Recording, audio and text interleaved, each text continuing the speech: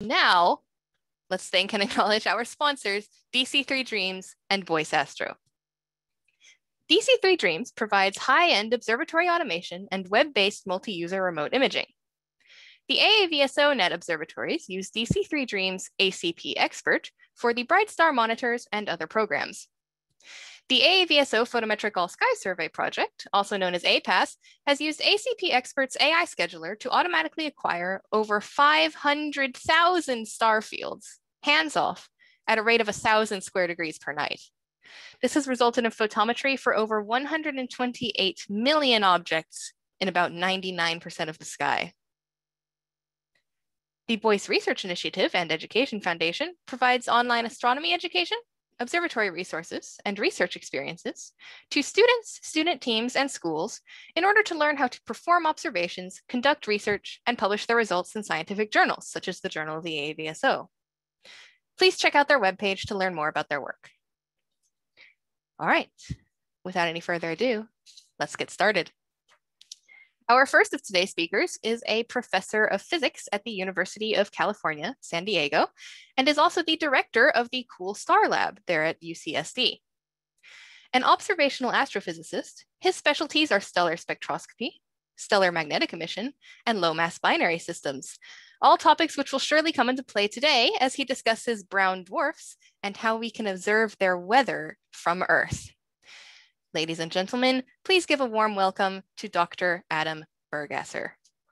Dr. Burgasser, you can take it from here. All right, thank you very much, Lauren, and thank you everyone for attending today. I'm going to go ahead and set up my slides here. Um, and as I do so, just a, another double shout out, shout out to Boyce Astro, who is actually in San Diego, uh, where I'm from. So it's great to uh, have uh, them sponsoring this talk as well. Um, today, I'm going to be talking about uh, an area of astronomy uh, called substellar astrophysics, and we'll unpack all those words in a moment. Um, but one of the things that I thought was most interesting about this area of research that I've been working on for the last 20 years, um, and I thought very interesting for the uh, AAVSO, um, is the fact that these objects are variable and that variability is tied not to our traditional uh, stellar variability like star spots and um, you know solar flares and stuff like that, but to uh, things that we think more in the line of planetary atmospheres, and that's clouds and weather. So uh, what I'm going to talk about today is, is how we know that there are clouds on these objects called brown dwarfs. I'll explain what brown dwarfs are as well. Um, and then how we use these, uh, the, the variable light curves to study the atmospheres of these objects in pretty incredible detail in terms of both horizontal mapping and vertical mapping of the cloud decks which we can do by using time-dependent uh, data, just like, like you do for, for your variability studies as well. Uh, so that's the topic of my talk, and we're going to talk about the weather uh, on brown dwarfs, which is, uh, you know, some of you put in the chat window, you've got your own weather at home. Um, we're going to see that brown dwarf weather is a little bit different, um, and particularly what kind of things uh, is raining and snowing in their atmospheres. So uh, let's just start by thinking about the clouds. So, you know, depending where you are today here in San Diego, it's pretty overcast. Uh, it's not our usual sort of sunny San Diego day. It's, it's pretty, uh, pretty white out there. Um, and of course, you know, clouds come in all kinds of different uh, sizes, designs, shapes, colors. You know, we have our sort of fluffy, beautiful white clouds in the blue background. Um, we could have dark, black, stormy clouds uh, in, a, in a thick rainstorm. Um, we have, you know, during the sunrise and sunset, we can have all kinds of different colors, pink clouds, purple clouds down at the beach, uh, beautiful orange clouds at sunset when we have a lot of material in the atmosphere. Um, you can even have, this is a picture I took in Northwest Montana, uh, clouds that are multiple colors all at the same time. This was a, a red, white, and blue cloud day that I had uh, just back uh, uh, last year uh, when we were still traveling out in, in Northwest Montana there. Um, sometimes the clouds are thin and wispy and, and whimsical. Uh, sometimes the clouds are dark and thick and menacing uh, with storms. Uh, and of course, these clouds produce uh, the rain showers uh, and snow showers and, and hail, depending on, what climate you're in. Um, we can have clouds uh, that also produce lightning, of course. Um, clouds can come into different kinds of shapes, depending on what kind of storm system you have. You could have these small, well, relatively small tornadoes uh, or waterspouts if you're over the ocean, or tremendously large hurricane systems. So they come in different structures as well as different colors and, and materials. Um, we see clouds at all different layers in our atmosphere. Uh, the highest clouds are these noctilucent clouds that uh, are very, you know, close up to the kind of edge of our atmosphere and are glowing because they're reflecting the sunlight that they're picking up from, uh, from around the limb. Uh, and of course, if you're in San Francisco, you're familiar with the clouds that are just sitting right on the bay, uh, very low to the ground. So clouds not only have different shapes and colors, but they can also reside at different parts of our atmosphere. Uh, clouds can have funny shapes too. Uh, these are mammatus clouds. Uh, this comes uh, from the convective turbulence uh, that happens in thunderstorms. You have these kind of weird alien clouds, these lenticular clouds that can form also in different conditions in the atmosphere. And then if you're a physicist, you occasionally see clouds like these. These are Kelvin-Helmholtz clouds, and these form at the interface of two layers of atmosphere moving relative to each other and produce a fluid instability that produces these beautiful shapes uh, in the clouds. So, um, you know, there's a huge variety of the shapes, sizes, appearances, how they reflect light. But the thing about Earth clouds is that they're basically all made out of the same stuff, water, right? Water in either liquid or ice form. That's our main condensate in the atmosphere that forms these clouds. And of course, clouds are important for the Earth uh, in terms of how uh, light gets to our surface, how it's absorbed back. Uh, clouds are one of these uh, uh, aspects of, for example, of climate change that people are still trying to figure out. Do clouds warm the environment? Do they cool the environment? Do we expect to see more clouds as the climate uh, heats up, or do we expect to see less?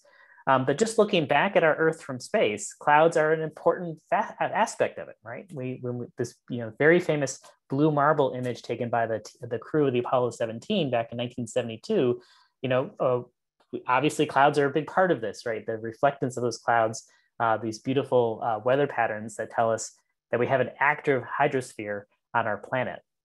And in fact, this is so natural to us that if we see pictures of the Earth without clouds, and NASA has constructed uh, mosaics of our planet.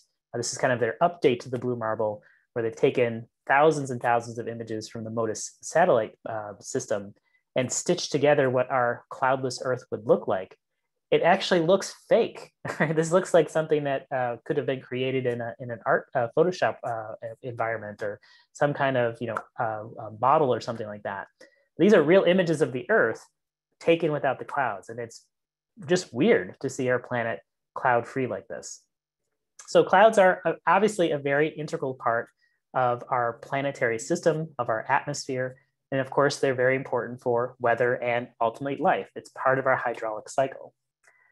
Now, there are clouds on other uh, planets in our solar system, um, and they are a lot more diverse. So if we look at closer into the sun, uh, Venus has these incredibly thick cloud layers that are primarily made of liquid sulfuric acid very different kind of weather on that planet, right? Um, and that has a lot to do with the fact that Venus is much hotter and the clouds don't, uh, cloud, water doesn't condense out into vapor, uh, sorry, into liquid or solid uh, clouds. And so you have to have a different species, in this case, sulfuric acid, that provides these condensate clouds.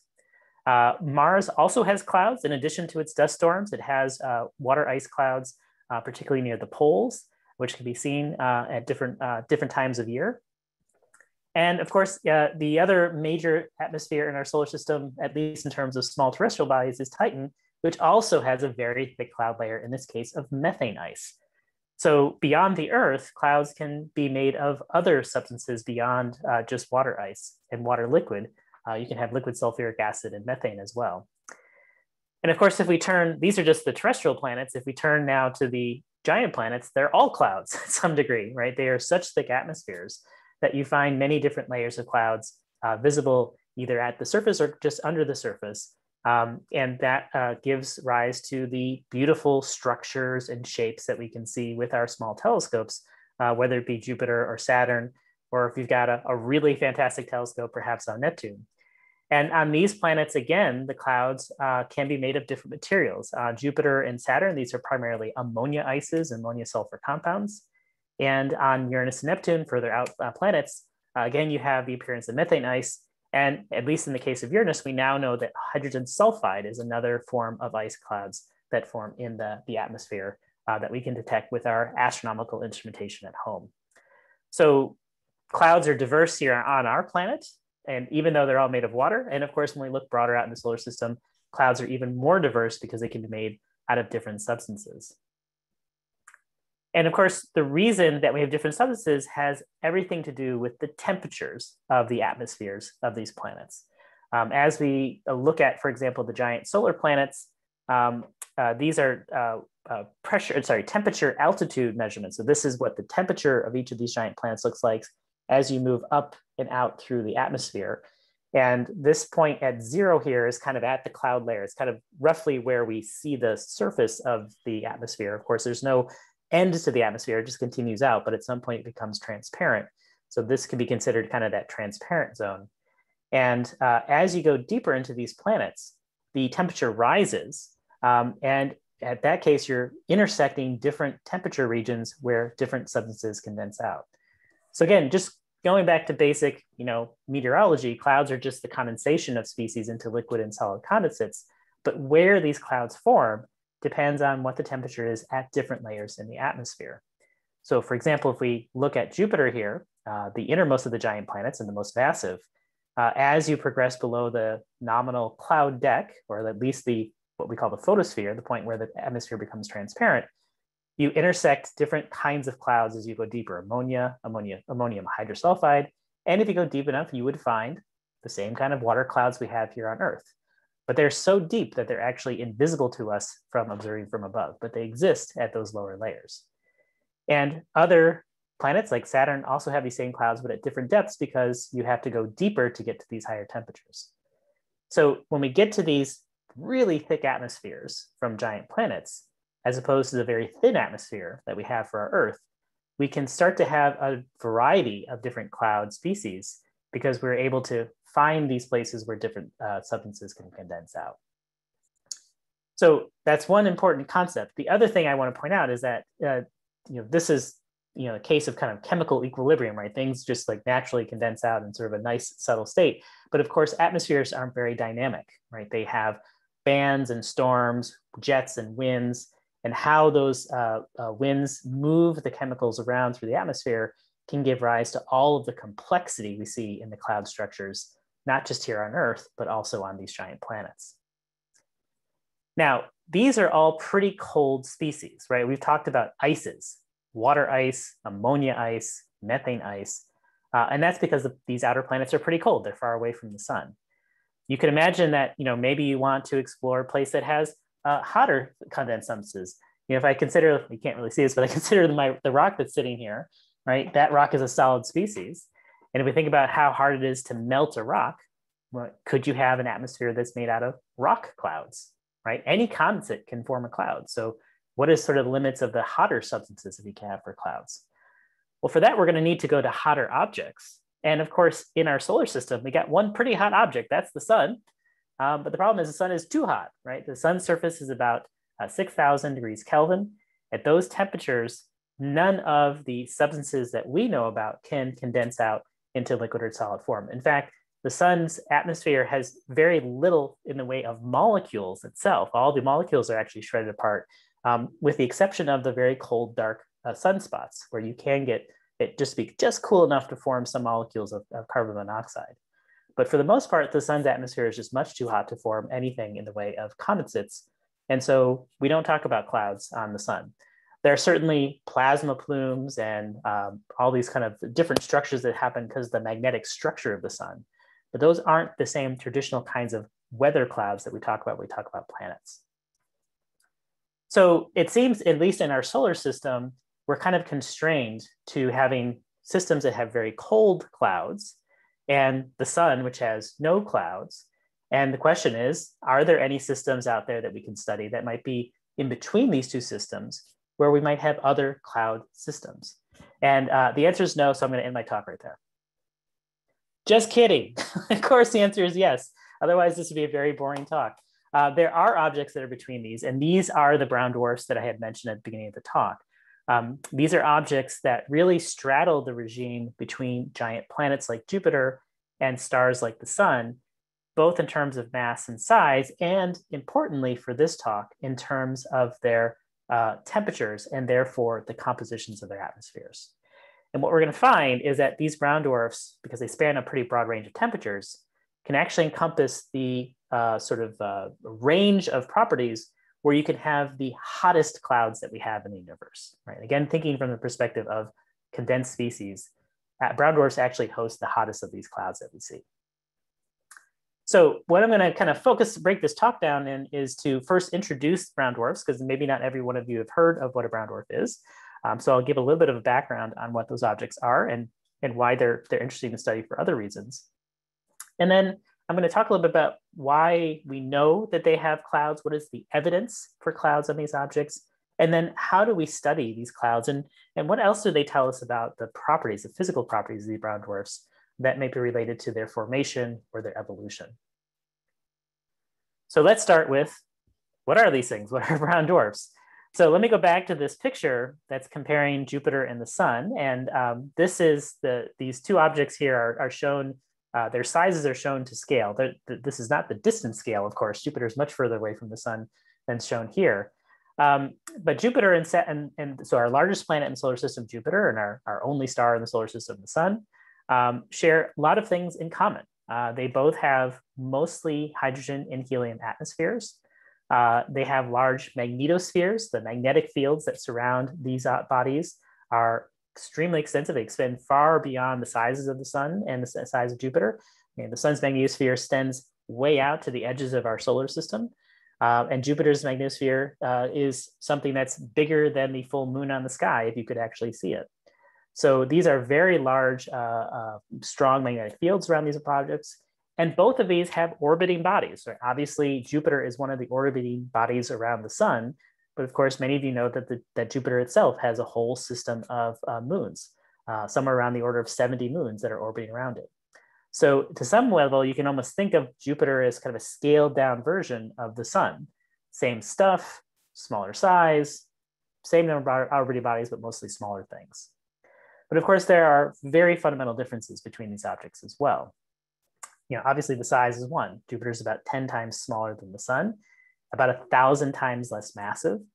Um, and of course, the temperatures are very, very different. The sun's surface is about 6,000 Kelvin, as I mentioned earlier, where Jupiter is a paltry 125 degrees Kelvin, which is somewhere on the, the order of 100, uh, minus 150 degrees Celsius, very much below freezing, all right, very cold surface. And that's, of course, why it has these methane and ammonia clouds.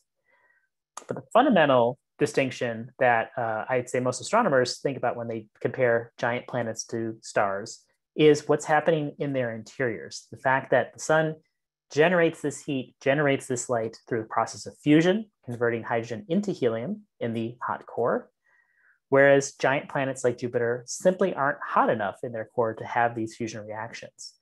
So when we see Jupiter uh, through, you know, with our eyes, through, through a telescope, um, what we're really mostly looking at is the reflected light from the sun. Jupiter does emit its own radiation. We're going to see some images of that later, but that radiation is very, very weak and at very long wavelengths. Again, because it's because Jupiter is such a cold object. So Jupiter itself is not generating uh, new energy to, you know, uh, produce its radiance uh, it's mostly getting all its energy from the sun. And some of the energy left over from its formation is radiating out, but there's a balance between what's coming in from the sun and what's radiating out. There's nothing coming from Jupiter itself. Whereas the sun and other stars are generating all that energy interiorly from the conversion of hydrogen into helium. So again, from an astronomer perspective, or at least from an astrophysicist perspective, if you want to say what's different between Jupiter and Sun, the main thing I would point to is that fusion or not fusion, right? These kind of key, this key process that allows stars to shine. Now, stars, of course, also come in a wide variety of different uh, properties. Um, I'm gonna just change my share here so this stream's a little bit easier. So what I'm gonna show you is a uh, small video that um, uh, was made by Jay Anderson, who's astronomer at Space Telescope Science Institute, um, looking at Hubble Space Telescope data of this cluster Omega Centauri. This is a massive old cluster of stars. Uh, this is, by the way, a great small telescope deep sky object you can take a look at. Um, tens of thousands of stars in this cluster, all of them 13, uh, 12, 13 billion years old, and uh, a wide variety in this diversity of stars in the system as well. So what you're seeing here in the color image is a small uh, uh, piece of the cluster kind of out here on the outskirts and showing all the different varieties of stars. And of course, immediately to our eye, we can see that there are stars of different colors, different brightnesses. Most of the stars in this picture are members of the Omega Cygni cluster. Now, uh, Jay made this great uh, illustration to show how kind of one of the basic processes we do as astronomers to understand these differences is to essentially reorganize our data. So what this video is going to do is going to sort these stars based on their color and their brightness. So let's see what that looks like. So first we're shifting all the blue stars to the left side of the image and all the red stars to the right side of the image. So you have kind of a color gradient there. And now we're going to shift all the bright stars to the top and all the faint stars to the bottom. And those of you who are astronomy aficionados know immediately what we're making here is a color magnitude diagram that's comparing the brightness of the stars to their colors. And um, you can see a very beautiful clear pattern shows up. This is our classical HR diagram, color magnitude diagram of a cluster that shows the main sequence of stars that make up most of the hydrogen burning stars in the system, and then the red giants and the blue giants that trace the evolution of stars as they run out of hydrogen and start to go through other stages of internal fusion uh, and expand and contract depending on that those states. And eventually, as these bright stars lose their atmospheres, they eventually become the white dwarfs that Professor Gänsicke is going to be talking about later on today. Now, what's often left out of the discussion on these systems is these faint little dinky stars down here, right? There's quite a few of them, but they're really small and bright, at least very dim and red in this image. And those turn out to be, in my picture, one of the best uh, kinds of stars. So here's another illustration of the diversity stars, a little bit more artistic one, showing the different classes of hydrogen burning stars that we see in our, in our uh, universe. Um, going from the very hottest and brightest here on the right, the O stars, to stars like the sun, uh, G dwarfs, to these very lowest mass stars that are out there. These are the M dwarfs, and you can see, you know, our completely bonkers sequence of letters to explain spectral spectral types. Um, maybe you may have had an opportunity to come up with your own uh, acronym or, or, mnemonic to come up remember what these letter sequences are. Um, but uh, you know, again, most folks, particularly when they're studying planetary systems or they're studying uh, very distant star systems, will focus on these brightest and most massive of stars because you can see them, right? They are so luminous, so bright that we can see them at very large distances, including out at the uh, Omega Cygni globular cluster. But it turns out that these little stars down here are the most numerous stars in our galaxy. About 70% of all stars in the galaxy are these tiny little M dwarfs. But we don't actually see any M dwarfs with our naked eye. They are so faint that we need to have telescopes to even see the nearest of these M dwarfs. And you know, the other thing uh, pattern I'll point out, of course, is that this is a sequence in color and luminosity, but also it's a sequence in mass and size. These O-type stars are among the most massive stars in, that are, are fusing hydrogen, about 40 times as massive as the sun, um, and about 10 times larger than the sun. Whereas you get down to these very low mass stars, completely on the other end of the spectrum, 10 times smaller, 10 times less massive than stars like the sun. Now, to figure out where the size distribution comes from, it's important to remember where the stars come from themselves. So if we take a, a deep picture at some of the dark uh, uh, clouds and dark, you know, dark regions in our galactic plane, we can start to find some of the star forming regions, the star forming clouds. Um, this is one of these. This is the Eagle Nebula. Um, those of you who are uh, Hubble Space Telescope aficionados will remember the pillars of creation. This is one of the pillars of creation. So this is a, a smaller subset of that uh, classic image. Um, and these are the regions that are forming clouds and these kind of are forming stars. And these kind of structures are extremely large, about 10 light years across uh, and very fragmented because what's happening in all these little knobs uh, on the ends of these uh, threads of dust and gas is the contraction, gravitational contraction of pre-stellar cores, things that are eventually going to form stars of all different kinds of sizes and masses. And what sizes, what masses they come out of uh, kind of depends on just the distribution of how these things break apart.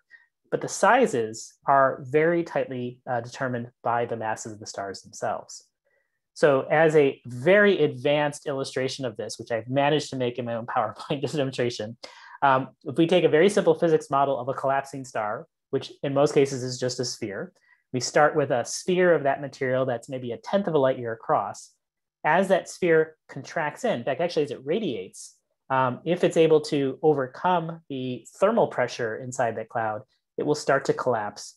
And as it collapses, it's transforming some of that gravitational energy into thermal energy, right? Much like if I dropped my keys, as it hits the ground, all of that gravitational potential energy goes into the sound that it makes when it hits the hits the ground, right? So in this case, the sound is actually heat, and it's heating up the interior of the star. About half of it gets radiated off, and half of it goes into making the star uh, hotter. And this will continue uh, until the interior of the star gets hot enough to start those fusion reactions. And uh, you need about a million Kelvin uh, degree, uh, degrees of temperature to get those uh, hydrogen to helium nuclear reactions starting. And once that does, that provides now a new source of energy to provide the thermal pressure to hold the star up. So the fusion reactions not only provide the, the light and the heat that we see from the surface of the sun, but they also provide the pressure to hold the star uh, in place. And so that's why a star like the sun, once it gets to this stable uh, uh, point where it's balancing the fusion reactions in its core and the radiation from its surface, stays roughly the same size for billions of years. It's what we call in thermodynamic and hydrostatic equilibrium. It's staying the same temperature and it's staying roughly the same size. Now, for a star like the sun, it had to shrink down to a sun diameter in order to get to those temperatures and find this balance point. But if you start with less mass, uh, maybe a star that's only a tenth of mass of the star, you have less ability to extract gravitational potential energy. So you have to shrink the star even further down. And so a star that's maybe a tenth of the solar mass is going to have to shrink down to about a tenth of the size of the sun before there's enough gravitational energy put in to heat up the core and start those nuclear reactions. So, and in fact, this is what we measure when we measure very accurately the masses and radii of stars. This is a study by a colleague, uh, uh, uh, Tabitha Boyajian. You may know that name from Boyajian's star, the, the alien megastructure star, uh, but much of her work has been in making fundamental measurements of stars, including their masses and radii. Uh, you can actually measure directly the radii of stars using a technique called interferometry. And she's been able to do this for a sample of stars spanning uh, a solar mass all the way down to about a tenth of solar mass. And you can see this beautiful linear relationship between the mass of the star, and how big it is. And again, all of that ultimately comes from the fact that these stars always have to shrink down to the point where they start nuclear reactions. That's when you get a nice stable star, and lower mass stars have to do more shrinking than higher mass stars. All right. So this is, you know, a classic relationship. We, we can measure this. We can see this out in space. Um, anytime an astronomer draws a line on a, on a diagram, um, the question is, how far does that line actually apply? Right? Can I really take this line down to the zero point, right? Or another way to put this is how st- small can a star actually be? If a solar mass star can shrink down to a solar radius, and a tenth of a solar mass star shrinks down to a tenth of a solar radius, can you make a hundredth of a solar mass star that shrinks down to a hundredth of a solar radius, which would be about the size of the Earth, which is, by the way, the size of the objects that uh, Dr. Gänsicke is going to talk about later, although they are very different from these hydrogen burning stars. Well, it turns out this was a question that was being asked back in the 1960s. And it turns out that the, the, this M dwarf range down to a tenth of solar mass is pretty close to the limit as how small we can make stars. And it has to do with a, another physical concept, and that's called electron degeneracy.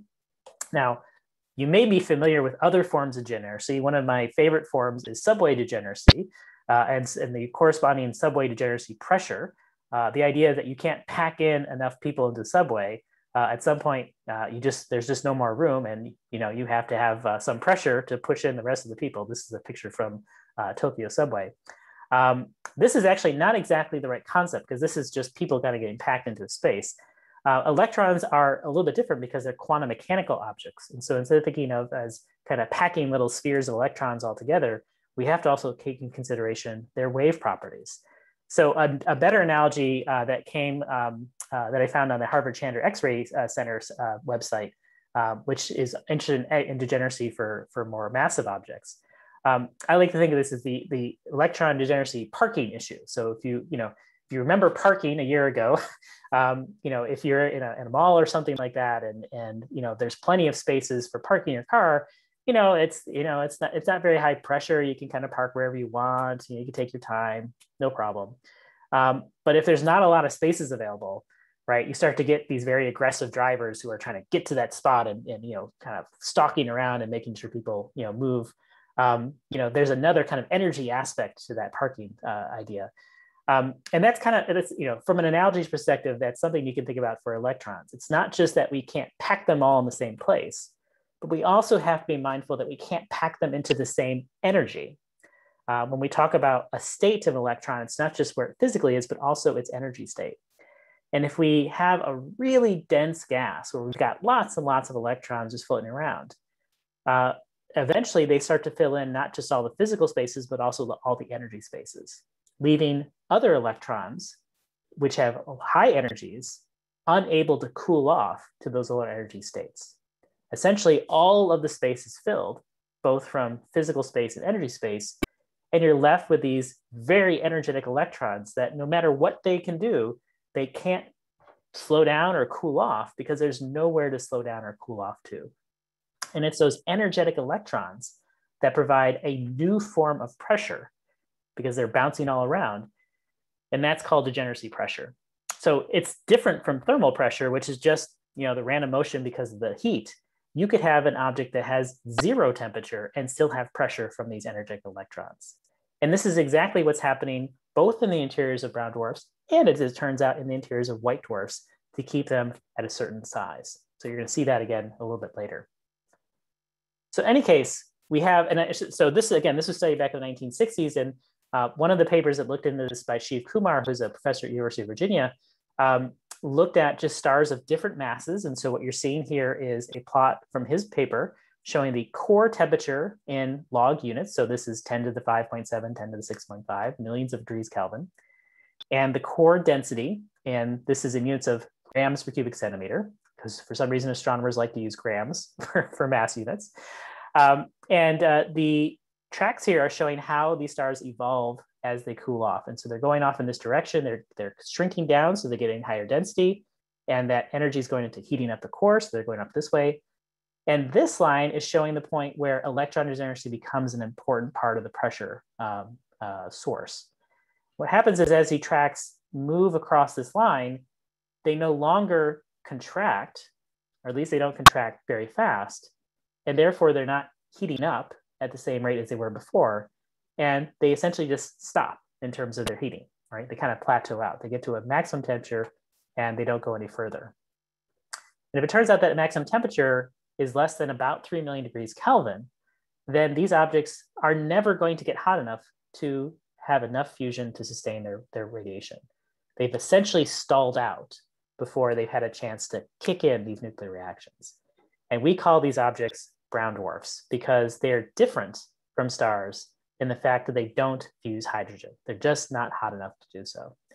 And uh, Shiv is, uh, and other people have computed that the uh, limit for that is about seven hundredths or seven percent of a solar mass. So just below that M dwarf mass limit, this is a this is the smallest a star can be and still be fusing hydrogen. Anything below this, it's going to be an object that is not fusing hydrogen at all.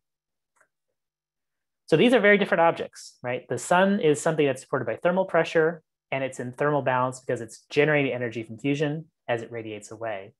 Brown dwarfs are things that are supported by degeneracy pressure and they are still radiating energy away, which means that they over time cool off. And this is what this looks like.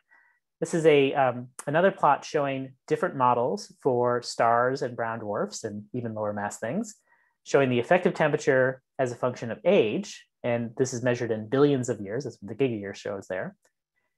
And stars, uh, even low mass stars, eventually will get to a plateau in their temperature because they're balancing the radiation, the energy they're creating from fusion and the radiation they're losing away.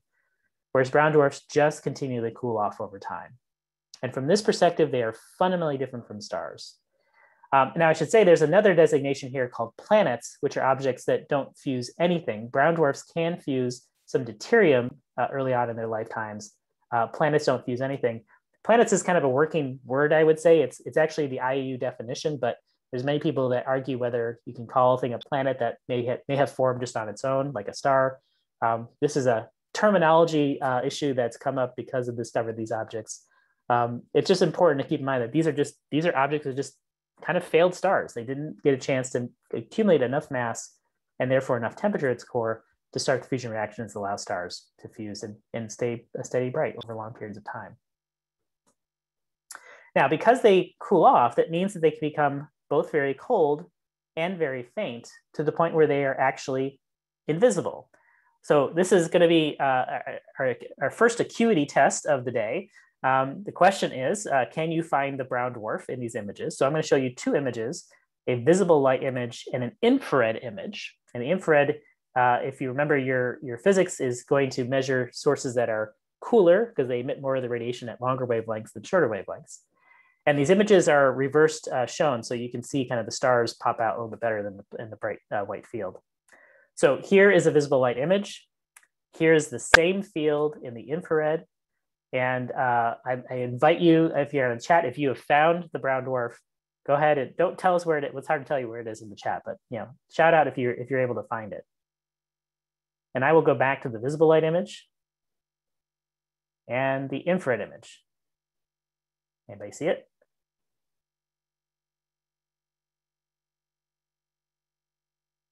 All right, visible light image, infrared image. Want to go back and forth a little bit faster. And I'll say this is something I did as a graduate student for years, trying to find brown dwarfs. And what you're looking for is something that shows up in the infrared image, but not the visible light image. Uh, I'm not seeing anyone see it in the chat window. So I will just tell you that it's right there, right? So sometimes the universe just puts a big circle around the thing you're looking for. Again, here's the infrared image and here's the visible light image. This is an invisible star, right? A star that doesn't show up in our regular visible bands. So brown dwarfs were predicted to exist back in the 1960s. But because we didn't have the technology to image the sky in the infrared at sufficient sensitivity, they were essentially invisible to our eyes. Just like the M dwarfs are invisible to our naked eyes, and we needed telescopes to find those, these brown dwarfs are invisible, invisible wavelength overall, and it required an advancement in technology, infrared detectors, to actually find these systems in the infrared. And so the discoveries were made mostly in 1990s. Uh, this is a, a, sort of couple of these objects that were found. This is a companion to a nearby low mass star called Gliese 229b.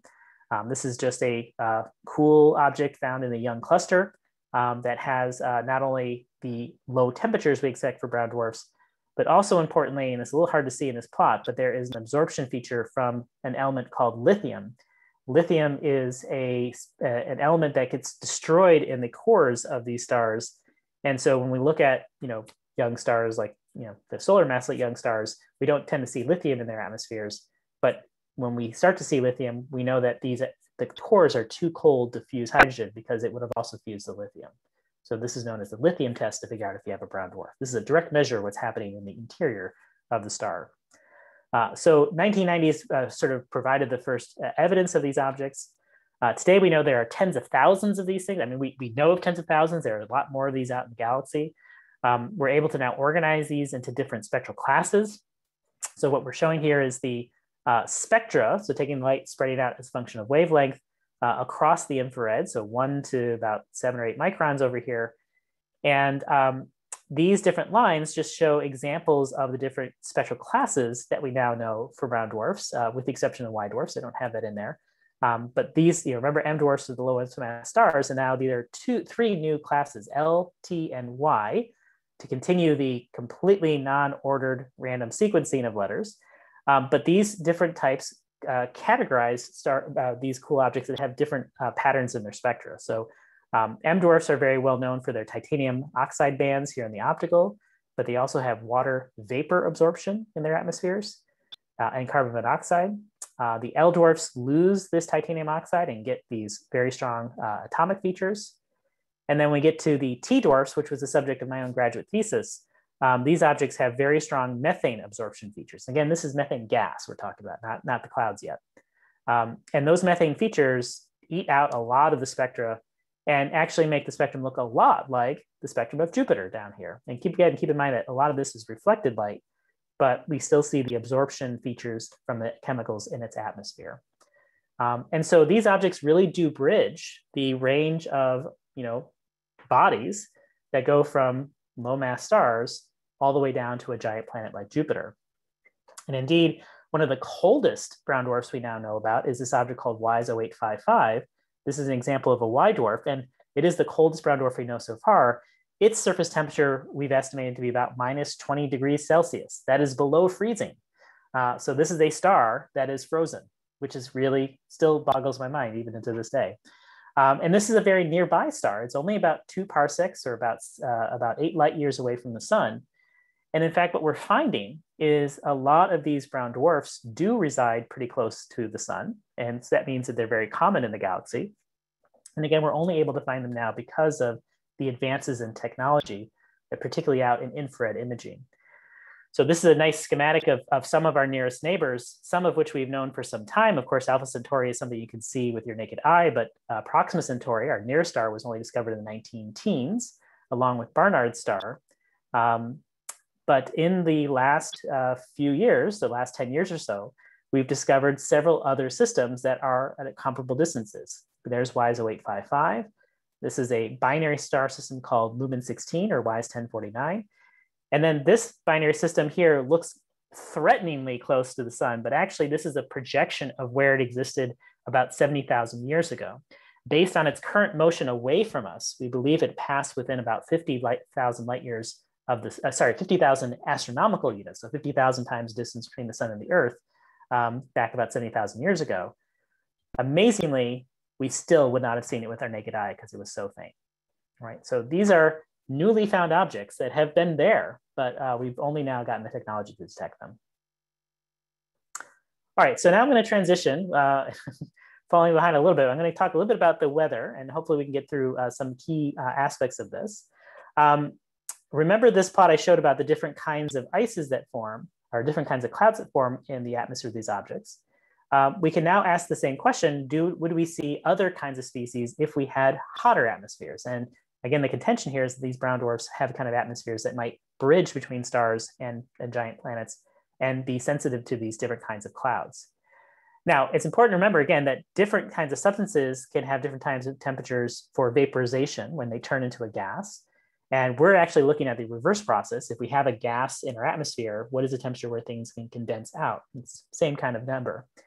Um, and so, you know, again, on Earth, we focus mostly on water, which vaporizes about 100 degrees Celsius um, which means there's plenty of space for liquid and solid water to exist because fortunately our, our atmosphere is not 100 degrees Celsius. That would be terrible. Um, but uh, you know, if we get up to more uh, hard to melt substances or refractory substances like rocks and iron, you need to get to very high temperatures. And of course, anyone who works in the steel industry knows this to be true.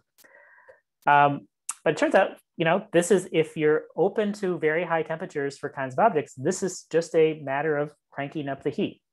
So uh, there's lots of different substances that can condense out into liquid and solid formats depending on what temperature you're at. And this is kind of just a, a schematic of this is kind of a spaghetti plot of all different kinds of chemicals. But the thing to read off here is um, at different temperatures, so this is low to high, you can get ammonia, water, uh, you can get salt to start to evaporate right? Sodium chloride, calcium, uh, potassium chloride. Um, you start to get some rocks and metals out here about 1500 degrees Kelvin. Uh, and then as you get down to 2000, 2500 Kelvin, that's when you start to get the hardest to melt uh, substances. Um, and uh, actually, trivia question, and, and, again, please use the chat if you know, what's the highest temperature substance, either temperature or substance, to melt? Anybody know? Or to vaporize, excuse me. Didn't think there would be a quiz today, did you?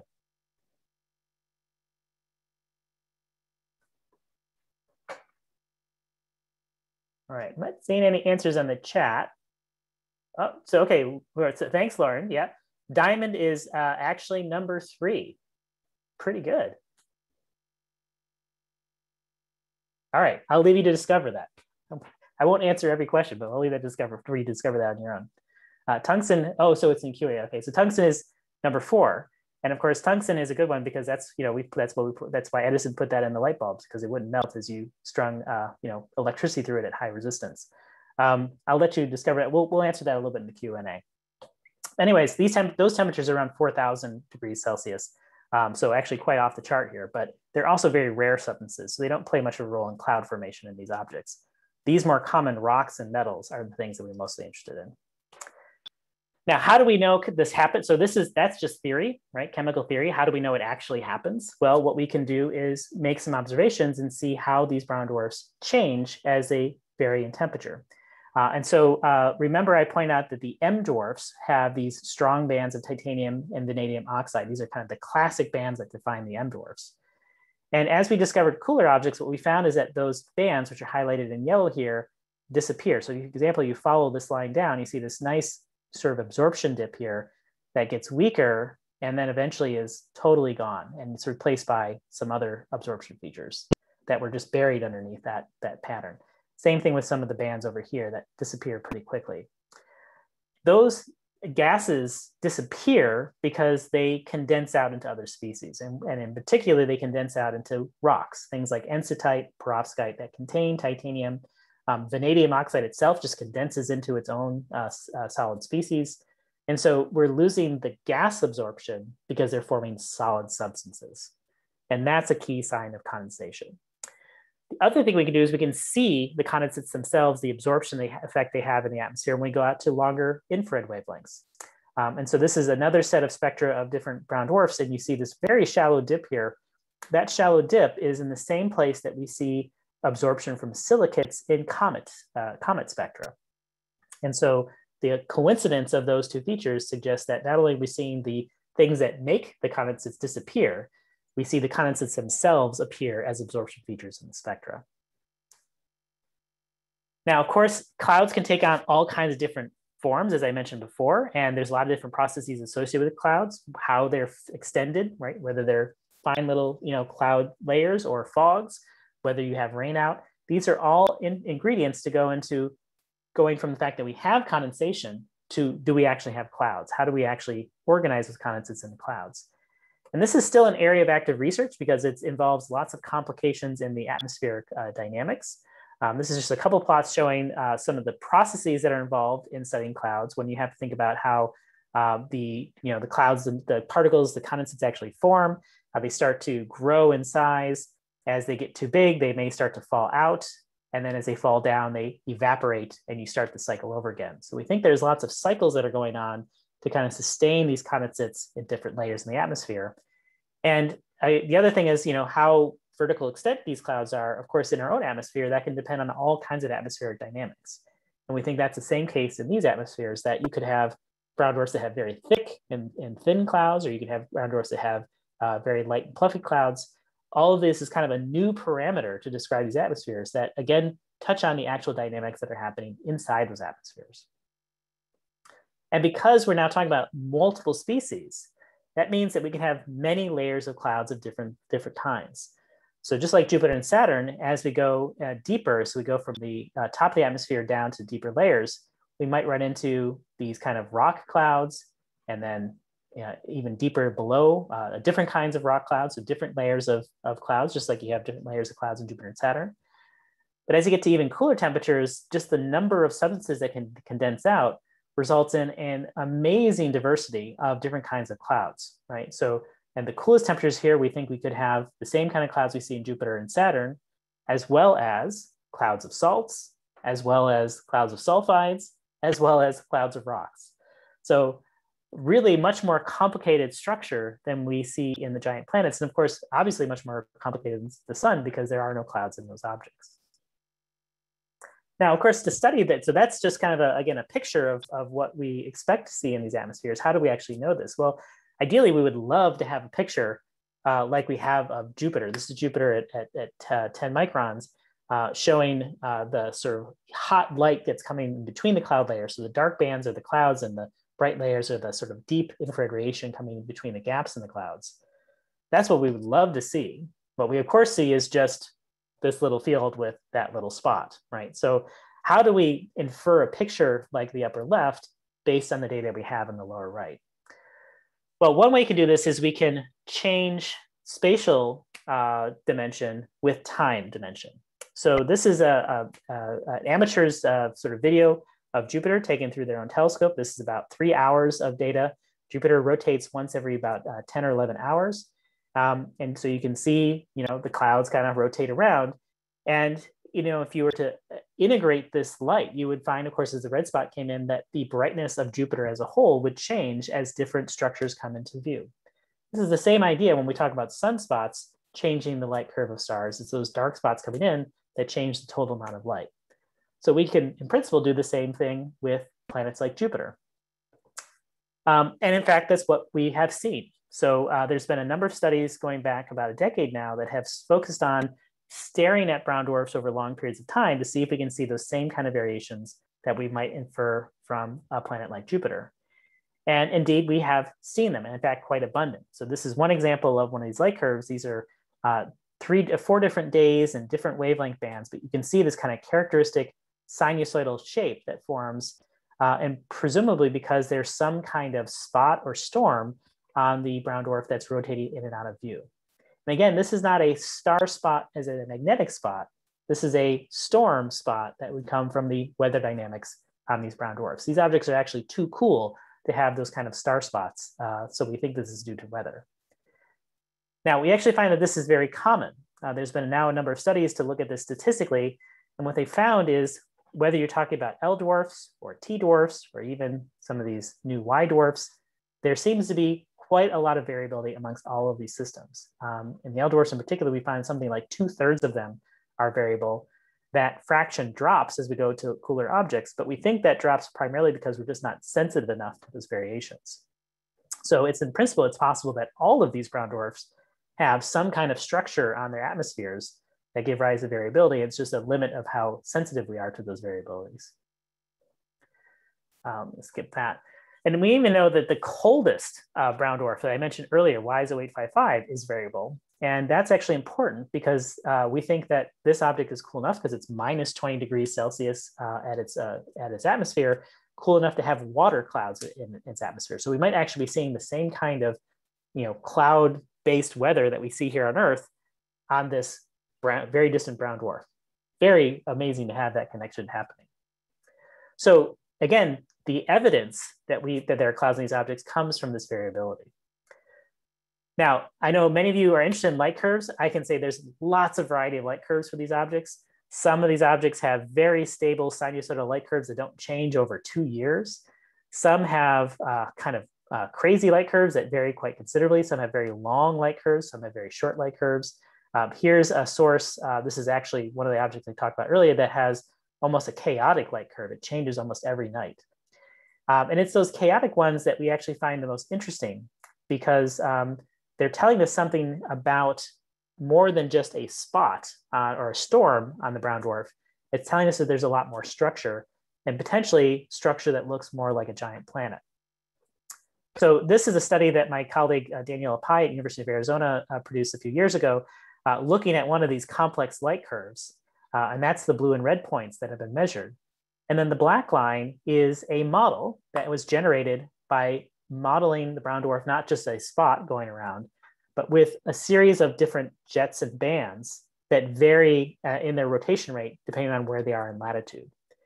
Now, those of you who are planetary aficionados know that that's actually what happens on planets like Jupiter and Saturn.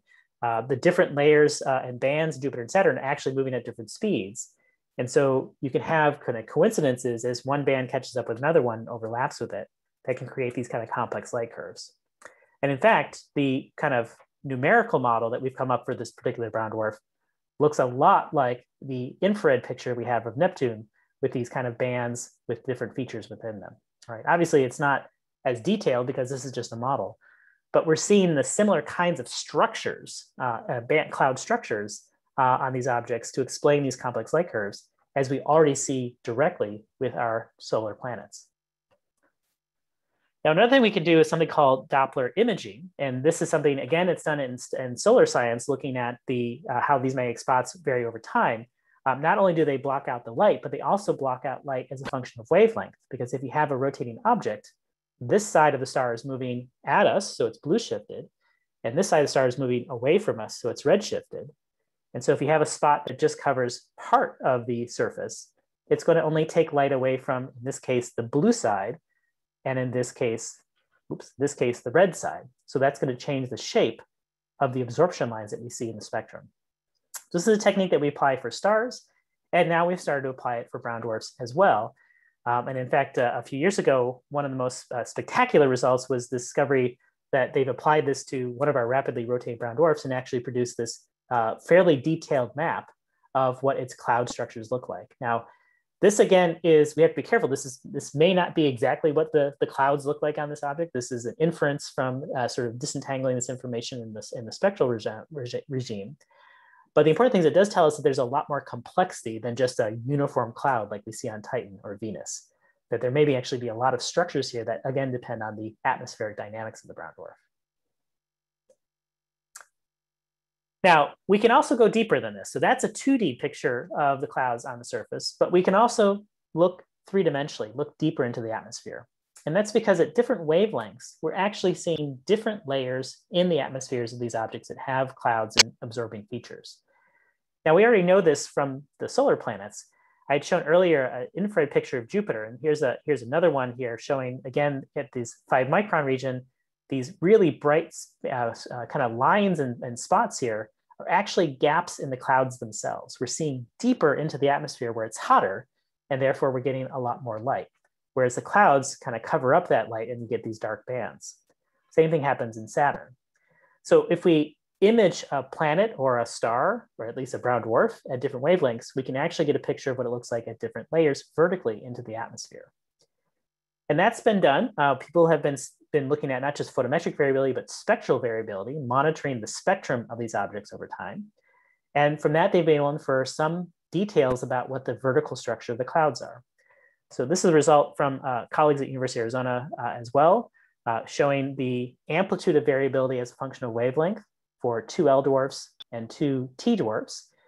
And you can see that there's, it's kind of flat or at least a little bit sloping for the L dwarfs. And that tells us that the clouds are pretty close to the surface. So they're all, they're varying all of the light kind of uniformly. Whereas for the T dwarfs, there's a strong decrease in the amplitude of variability in the region where water gas absorbs, which means that the clouds are probably deep under this water gas layer. And so when you're in the band where water gas absorbs the most, you don't see the cloud variability. But if you're outside that band, you can look deep enough and see that variability. So this is one of the techniques to kind of get both a vertical structure of the, of the system as well as the horizontal. So variations in wavelength tell us something about the vertical structure. And if we monitor those different wavelengths, we also find that the phase of variability is actually different. And that's actually even more complicated. It tells us that the layers are not moving all together, but perhaps are moving at slightly different rates and are therefore, probing a vertical velocity uh, structure in the atmosphere in addition to kind of these cloud layers. So there's a lot of depth that we're getting out of the, the kind of cloud depths, even though we only have a point of light by using time and spectral uh, information together. And one of the things we've learned is that brown dwarfs are very rapid rotators. This is a video made by NASA JPL of a recent discovery. Uh, this is meant to be in uh, kind of scaled time. So uh, the brown dwarf doesn't actually rotate this fast, but we're going to see it's compared to Jupiter. Um, it moves much, much more fast than, than Jupiter is. So remember, Jupiter takes about 10 hours to go around. We're finding that many brown dwarfs take an hour to go around, right? Their day is an hour long. And that has uh, impacts on their uh, structure, their oblateness, um, and also tells us something about how they evolve with time. Most stars slow down in their rotation over time. These objects seem to stay very fast over long periods of time. Now, one last thing I want to point to is, is one of the questions we're also asking is how these clouds evolve with temperature, right? So I showed that you know the clouds can reside at different depths at a given temperature. But remember, brown dwarfs are objects that cool over time. So as they cool, how do their clouds evolve with that cooling? Do they just sink together with the, with the atmosphere or do they undergo any kind of changes? And in fact, it was very early on, we recognized that the L dwarfs were predominantly kind of cloudy objects. They matched cloudy predictions uh, for their photometry and spectra. But the T dwarfs, like Gliese 229b, that first one was discovered in 1996, clearly did not match that and had to be something that was relatively cloud free, at least in the photosphere. And so early on, there was this question about how did you go from here all the way over to here, cloudy to not cloudy, uh, in this sort of evolving sequence of brown dwarfs. You know, was this just a weird object or was there something that's actually happening for these objects as they evolve? And one of the pieces of evidence that this is not a standard uh, evolution um, is we started to find binaries that had both L dwarf and T dwarf components. And surprisingly, uh, which one was brighter depended on what wavelength you looked at. Now, those of you who know your binaries know that when we, we label them A or B, we often will choose A to be the brighter object. But what happens when, say, the one component is brighter at one wavelength and the other component is brighter at the other wavelength? Which one's A and which one's B? Um, this is a this is a problem, right? Because it's not something we anticipate in terms of how these uh, objects evolve. We expect all things as they cool off to just get fainter. But it turns out because of the cloud effects, and in fact, what we think is happening is the clouds are disappearing very quickly. Um, the T dwarfs in these cases are actually brightening because we're suddenly removing the opacity from those clouds. It's like we suddenly cleared the clouds away and the sun is coming in, except in the other direction, the light's coming out. Um, and this is actually something that appears to be just a normal part of the process of evolution. As we started measuring the absolute brightnesses of these objects at this wavelength, we found that they were seemed to getting brighter consistently across this transition, which suggests that all of these brown dwarfs lose their clouds very suddenly. I see Lauren is coming on, probably to tell me I got to wrap up. Um, shortly, yeah. we can give you yeah. about five more minutes. Okay, that's no problem. Thanks, Lauren.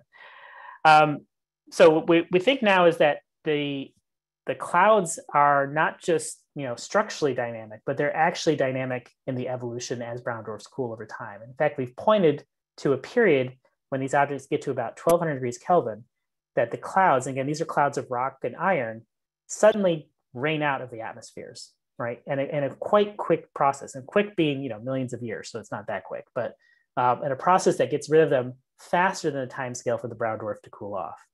Um, and so we think that this is part of the evolutionary process of, of, of clouds in these objects, but there's something that kind of drives the destruction or breakup of these clouds at this given temperature and changes the entire appearance of these objects and gives rise to these new spectral types. Now, the question, of course, is what is the physical mechanism? What's causing that to happen, right? It'd be something like the clouds that are covering the sky right now, all of a sudden cleared out in a sudden rain pour. Something has to make that happen. And um, one of the things that we think is happening, uh, this is some work by some colleagues in Europe, uh, uh, Pascal Tremblin, uh, think that uh, there's a particular chemical transition that has nothing to do with clouds, but actually has to do with carbon monoxide and methane. Uh, now remember that T dwarfs are objects that have methane absorption in atmospheres. That methane, the carbon in methane comes from the conversion of carbon monoxide plus hydrogen into methane plus water. Um, and those of you who remember your, your, your chemistry, uh, if you know the left side of this uh, equation has four molecules, the right side has two, which means that uh, the mean molecular weight or the how much mass is contained in each molecule is actually going up, right? Because you're taking the same amount of mass and putting it into fewer molecules. This gives rise to something known as a thermohaline instability. Uh, thermo temperature, haline is salt or really composition. And this is when you have a, a, a heavy substance on top of a light substance. They'll, the heavy substance, of course, wants to move down. And in certain kind of uh, conditions of the fluid, which is, it turns out brown dwarfs satisfy, you can get what's called a, a, a, fingering instability where these things kind of drip down into these little fingers of, of dense uh, material. Um, it turns out that that's a very efficient way to get rid of the clouds because you're actually mixing the atmosphere with the instability, and that will disrupt that convection gravitational settling process that I showed earlier, enough that that could drive the disruption of these clouds. And indeed, Pascal has been able to uh, reproduce this brightening of objects at this LT transition simply by changing how much mixing is happening because of this uh, fingering instability. Doesn't change the temperature, doesn't change anything else, but can reproduce this very well. So we think we're seeing uh, now a new kind of fluid process in these objects um, that's happening at this transition.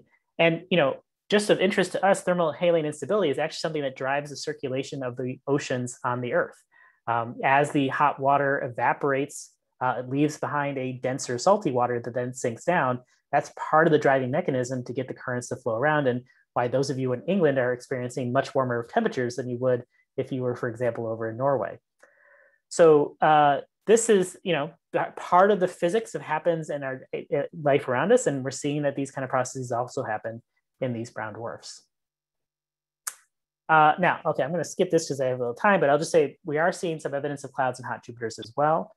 Um, and I'll just conclude that, you know, kind of the, the take home message I'd like you to take is that um, by using these techniques of time variability, spectral variability, we're able to get a pretty complex picture of what the atmospheres, or at least the cloud uh, uh, properties of these objects are. And we're finding that they're quite complicated. They show a lot of the same features that we see in giant planets in terms of jets and bands, um, but also very large structures that we don't see. Uh, Jupiter's large red spot um, is actually relatively small compared to the surface of Jupiter. And we're starting to see evidence that these brown dwarfs have much larger storm systems, probably driven by their very fast rotation periods. And these, of course, are connected to all kinds of dynamical processes that tell us how brown dwarfs work, how the energy is distributed, and of course, how they evolve over time. And some of these may also be present in hot exoplanet atmospheres. Now, I'll leave you with you know the fact that this is so this is all a lot of this work has been based on very painstaking work done from the ground. Um, when we're studying objects that vary over time scales of hours, that means you got to sit there for hours and collect the data. Um, you know, and we have to deal with clouds in our atmosphere, predicting us from the clouds in these other atmospheres. Um, but we're going to have some really great data sets coming uh, to us very soon um, through a few uh, large projects that are, are, are, you know, very soon to happen. I mean, these things are happening in the next few years. James Webb should be launched uh, in the next, uh, in this year and hopefully start operations next year. That's going to allow us to do very detailed spectral monitoring of these brown dwarfs. In fact, uh, they've already selected some of the first programs to happen, and they will include spectral monitoring of brown dwarfs. Um, the Vera Rubin Observatory in uh, Chile is going to be doing a full sky survey essentially every few day, every few nights, um, and doing that for 10 years. And that's going to be an incredible wealth of light curve data to study all kinds of variability, including weather variability in brown dwarfs. And the next space satellite mission, the Nancy Grace Roman Space Telescope, at least in the US, is going to be launched in 2025, which is only in four years. And it's going to do a microlensing survey. And I think you guys have probably talked about microlensing survey before. Uh, that's to find, you know, planets or other stars that pass or black holes that pass in front of background stars. But it's also going to provide a really a wonderful photometric data set of anything that's in the field, including brown dwarfs. And there'll be thousands of those that will have extremely high precision light curves. So expect to learn hear more about the sort of complex weather of these objects as we get these data sets. Uh, and hopefully this is something that we can start to tie pictures between our solar planets, the giant exoplanets, and uh, just kind of general processes of atmospheric uh, dynamics. And with that, I will take any questions and thank you very much for listening and your patience. Thank you very much, Dr. Burgasser. That was excellent. All right, so our first question comes from uh, Tawny Vanmister, who has asked if amateurs with medium-sized telescopes, for example, a half meter diameter telescope, can contribute meaningful observations of L or T dwarfs. Uh, so the answer is, uh, I, I, say yes. So, uh, so T dwarfs will be hard. Um, and keep in mind that there's two competing factors. One is the brightness of the objects, and the other is the fact that they emit more of their light at longer wavelengths. So as you get to T dwarfs in particular, um, you start to get to the point where you have to have infrared cameras to make these measurements because they simply don't emit a lot of light out in the visible. Now, the great thing is, uh, you know, there's uh, new ga uh, uh gallium arsenide detectors, um, InSb detectors that are almost off the shelf for relatively cheap. And you can start to buy these infrared cameras um, if you're if you're really into it. You can try to see that by these infrared cameras. And what we find is that these objects pop out quite brightly. Um, a few, I would say about six or seven years ago, I actually had an amateur astronomer send me a picture of one of my T dwarfs that they had obtained with their, I think it was a 0.6 meter telescope. So that's not far off from the size of the telescope you're talking about. Um, but they had to do it in a, with a pretty red sensitive CCD. So if you're interested in doing this, you want to see if you can explore uh, uh, cameras that are sensitive at longer wavelengths. Um, saying that, I would say that most of my thesis uh, was done using uh, the 60 inch telescope uh, at Palomar Observatory, um, you know, which is a, a, relatively small telescope on its, on its own. Um, and that was enough to find almost all of the T dwarfs in my thesis. So if you have a red sensitive or infrared camera, um, these things are actually not too, not too faint. Um, most of them were discovered by a very small telescope called the 2MASS telescope Um, and so, and, and only in seven seconds of observation. So um, if you can get to the longer wavelengths, yes, you could see these with, uh, with a half meter telescope. Thank you. All right, uh, Charles Cinnamon had asked if LT and Y dwarfs form in the same way as larger stars and if uh, any exoplanets have been discovered around any of these brown dwarfs. Great question. So um, for at least for the formation of brown dwarfs, uh, I would say most of the evidence points they do form in the same manner of stars. And, and some of that evidence includes the fact that we see them as isolated objects, right? They're not all orbiting other things. Uh, we see them in the same clusters that we find stars. We find young brown dwarfs next to young stars in, in clusters like the Pleiades. We find old brown dwarfs next to old stars in, in globular clusters like Omega Cen. Um, you know, we find them in binary systems. So most of the characteristics of brown dwarfs, uh, other things like they have jets when they're young, they have disks that form around them when they're young. All of these share similar uh, characteristics with stars when they form. And so we think to some degree that they're probably very similar in that sense. Um, there is a question about what's the lowest mass, right? How low mass can you have the star formation process go? And that's still an open question. Um, and we're starting to find brown dwarfs, uh, including that WISE 0855, that's only a few times the mass of Jupiter. And you know, the challenge gets is that's what we see today. We don't know if this is something that formed just like an isolated object that just happened to form that very low mass, or maybe it formed as a planet but got kicked out of its system and is now separated from it so far that we'll never figure out where it came from. Um, this is so at the margins, this is definitely a question that we're still trying to ask is where does brown dwarfs end? Where do exoplanets begin? And is there overlap in that? Mm-hmm. Now to your second question, yes, yeah, so the second question is we are looking. So we, we, you know, many of you may know a very famous uh, planetary system called TRAPPIST-1 um, that has six, sorry, seven terrestrial planets around it. Uh, that star is 0.08 solar masses. And remember that the brown dwarf limit is 0.07. Uh, so we're pretty close. And we think that it's just a matter of time before we start to find the first planetary systems around brown dwarfs. And there are groups that are looking for them right now. Okay, thank you. All right, uh, the last question came in uh, from George Contenouris, who asked if hot Jupiter exoplanets would have similar variabilities due to having very high temperatures. Yeah, so uh, so one of the figures I had, I, I went through very fast because I was mindful of the time. Um, there is, uh, this is uh, one study that's shown uh, uh, uh, significant evidence of variability from a hot exoplanet. Um, one of the, it's so the, it's really, so the brown dwarfs are easy to do this because you can just stare at the brown dwarf and that's all you worry about, right? Um, the problem with hot Jupiters is that they are hot because they're very close to another star.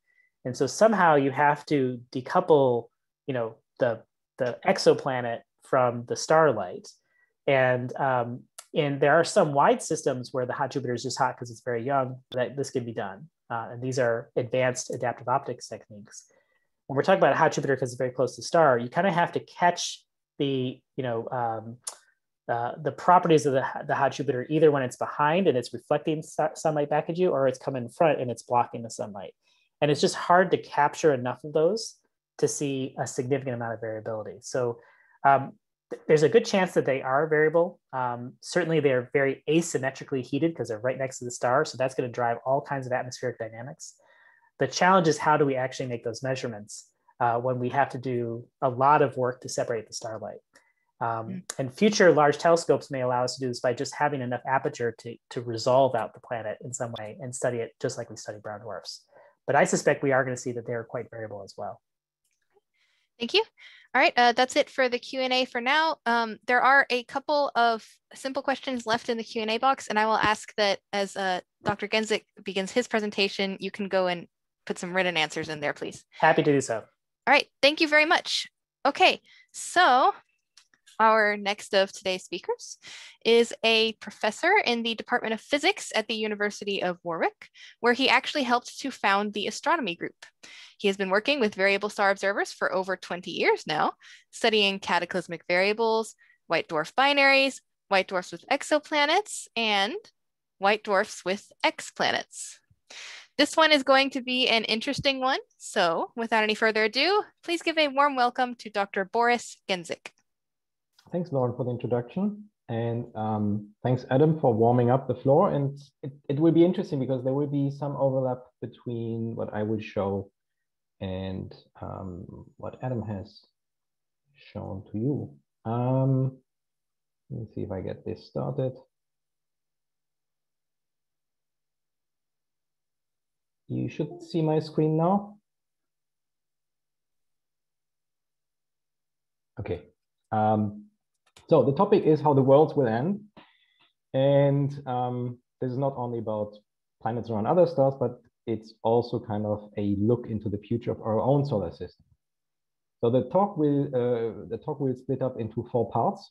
And first, I will um, illustrate how planetary systems evolve once their stars run out of hydrogen and evolve off the main sequence. Um, then I will uh, talk you through a number of observational signatures that allow us to find such evolved planetary systems around white dwarfs. Then um, I will go into a very important use that these systems have. Um, besides being kind of fascinating, we can use evolved planetary systems around white dwarfs to measure the bulk abundances, the composition of exoplanetary material. And that's something that we can't do at normal exoplanets orbiting main sequence stars. And then finally, I will highlight two recent um, results where actual planets have been discovered around white dwarfs. So let's go into the first part of the talk, the late evolution of planetary systems, and just have a second and think about what do I mean by that. So here's a um, artist's impression of a planetary system, and that's not the solar system because the nice water-rich planet is the fourth one in this uh, planetary system. And if we think back, it's only a little bit over 25, 26 years that we have discovered planets. Now we know that pretty much every star has planets, more or less with the precision that astronomers work. And so the questions that we then have is what's the future of these systems? Because eventually these host stars, they will use up all the hydrogen that they burn into helium to produce um, light and radiation. And then the next question is immediately, what's the future of the solar system? And then finally, what can we learn from those evolved planetary systems? So let's start with the solar system. Drawn to scale, we have the uh, architecture of the solar system where we have the innermost rocky terrestrial planets. Then we have an asteroid belt, and further out we have the gas giants, Jupiter, Saturn, and further out Uranus and Neptune. The sun is around halfway through its evolution, so it's four and a half billion years old, and it has another four and a half billion years to go, and it will eventually um, grow into a red giant. And just to illustrate that, switching to the next slide, the sun will become roughly one astronomical unit in size in radius. And that means the kind of surface, if you think about that, of the sun will be where we are right now. Now, that means that um, without a question, Mercury and Venus will be evaporated. And now if I go back to the previous slide and switch back and forth, what you see is that something else happens, namely that all the bodies that orbit the sun move out by about a factor two. And so the reason for that is that on the way to become uh, a white dwarf, the sun sheds about half of its mass into a planetary nebula, which is then dispersed into space. And that means that everything going around the sun will move out because there's less gravity. And so that means the, the fate of the Earth is undecided because the Earth may just move out fast enough before it's evaporated by the sun. But that's kind of irrelevant for, for the purpose of this talk, and it's irrelevant for all of us. So let's assume the Earth is gone as well. Then in a couple of billion years from now, this is how the solar system will look like. We are left with a white dwarf in the center, which has roughly half the mass of the sun, but it will have still a rocky planet, namely Mars. It will have an asteroid belt, and it will have all the giant planets that are further out, and it will have all the other ingredients, um, Kuiper belt objects, comets, and so on. So we can firmly predict that the solar system, once the sun has become a white dwarf, will have a large fraction of what is there today. Now, let's move to some of the exoplanets. And I show here two of the textbook examples of exoplanets. On the left, we have HR 8799. That's a direct image where a coronagraph blocks out the light of the star. And we see four planets.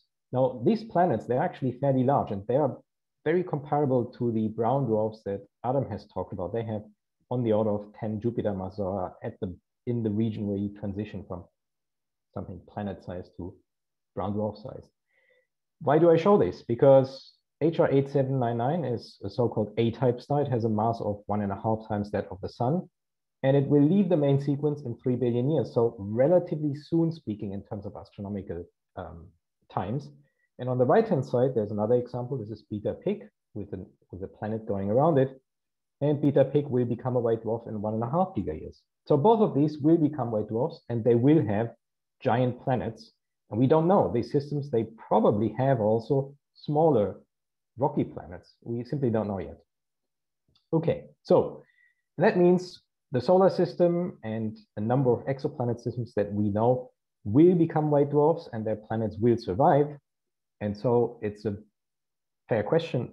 What about the white dwarfs that we see today? Were there once hosts to planetary systems? Most likely, yes.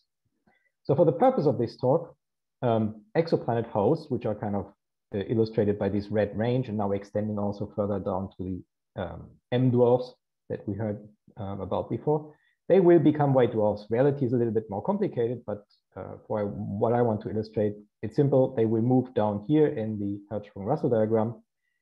And then because white dwarfs no longer produce energy, they will cool with time and become redder and fainter. Good. So now a quick quiz time and you can type your answer into the chat window. The question is, when was the first data, observational evidence obtained that tells us that planetary systems outside the solar system exist? And they weren't understood as such or interpreted, but they were obtained. That's the question. What year were those um, observations obtained? And maybe Lauren can read out if there's some answers coming in.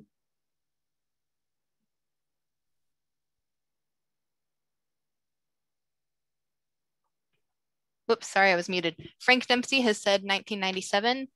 Uh, John Murrell has said in the 1970s pulsar planet.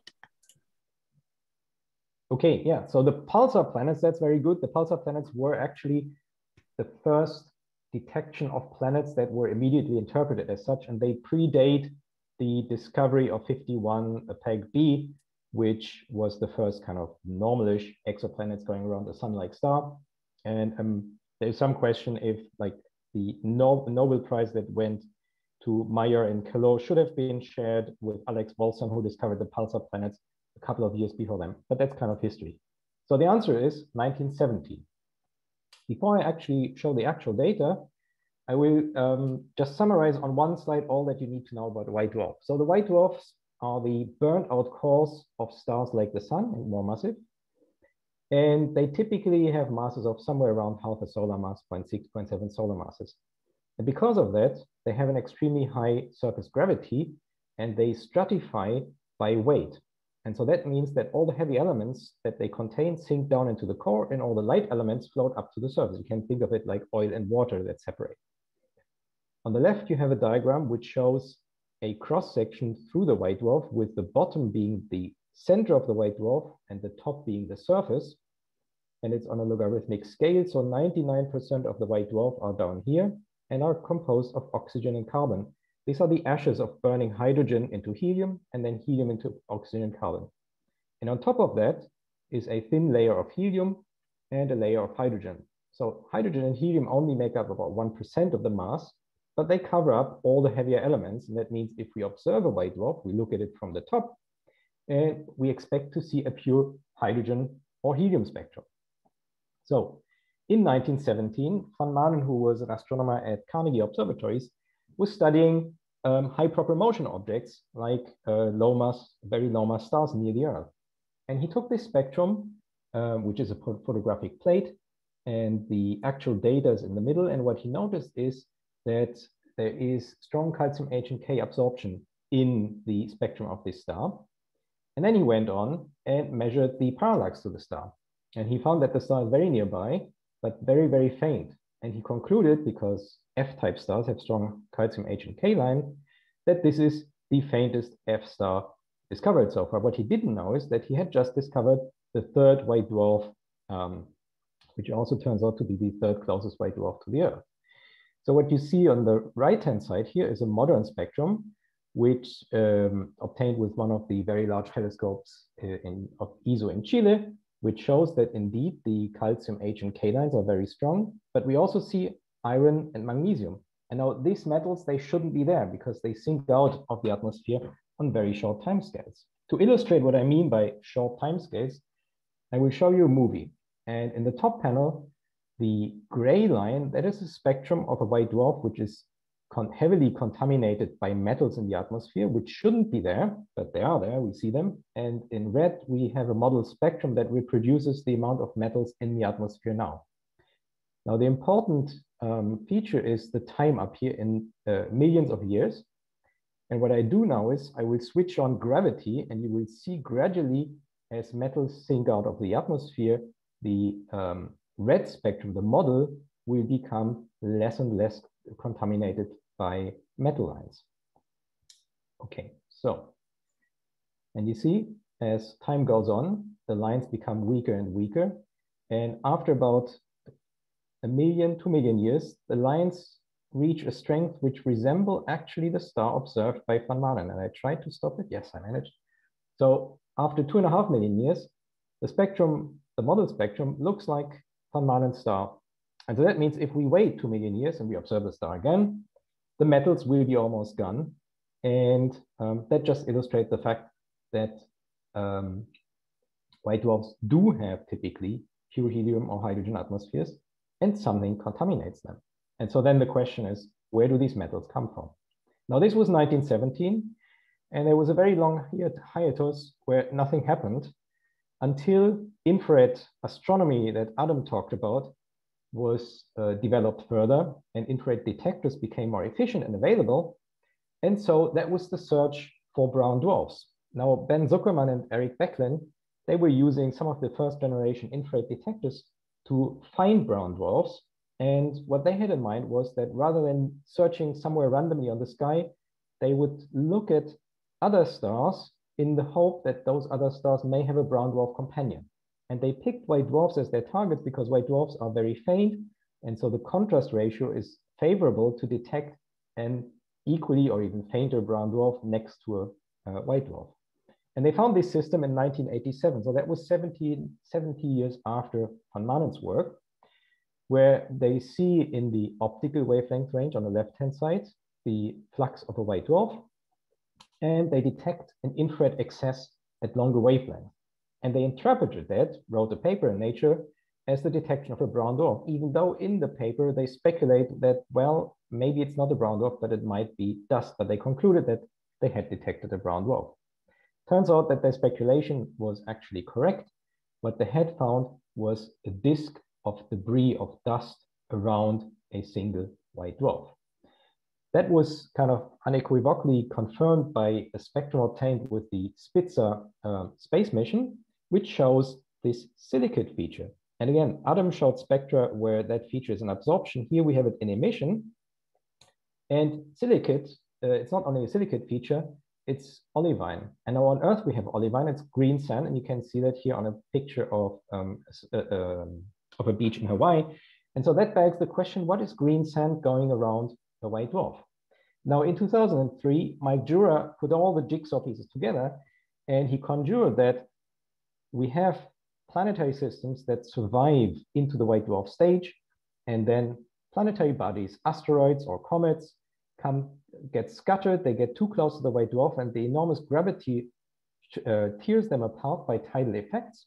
And then the material gets shredded and forms a dusty debris disk around the white dwarf. And that debris rains down on the white dwarf and contaminates the atmosphere with metals. And that is the origin of the metals that we see in those stars, including the white dwarf that Van Maanen discovered.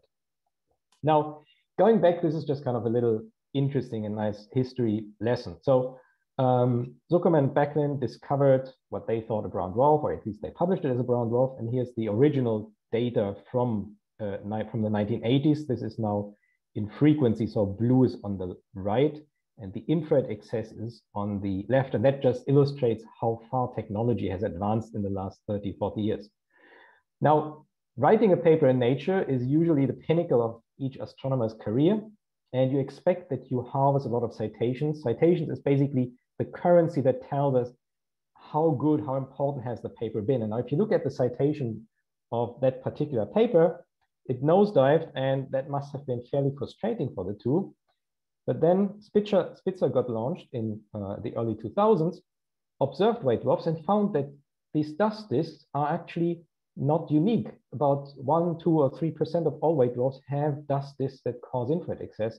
And so the citation rate picked up. And so that's a good lesson um, that if you have made a discovery, um, time will tell eventually if, if it was an important discovery or not. So moving on, um, that's where our group in Warwick came, became involved into this work. It's winding forward almost another 20 years. So now we're in 2006, and we were working on spectra from the Sloan Digital Sky Survey, um, both on single white dwarfs and white dwarfs in binaries, binary, binary systems. And I have been inspecting literally thousands of spectra from the, from the um, Sloan survey. And I came across this spectrum, which has beautiful, broad Balmer absorption lines. So this is kind of a textbook white dwarf, but it has these odd features at red long wavelength, which turn out to be emission lines of calcium. And zooming in, it shows that these lines, they're double peaked.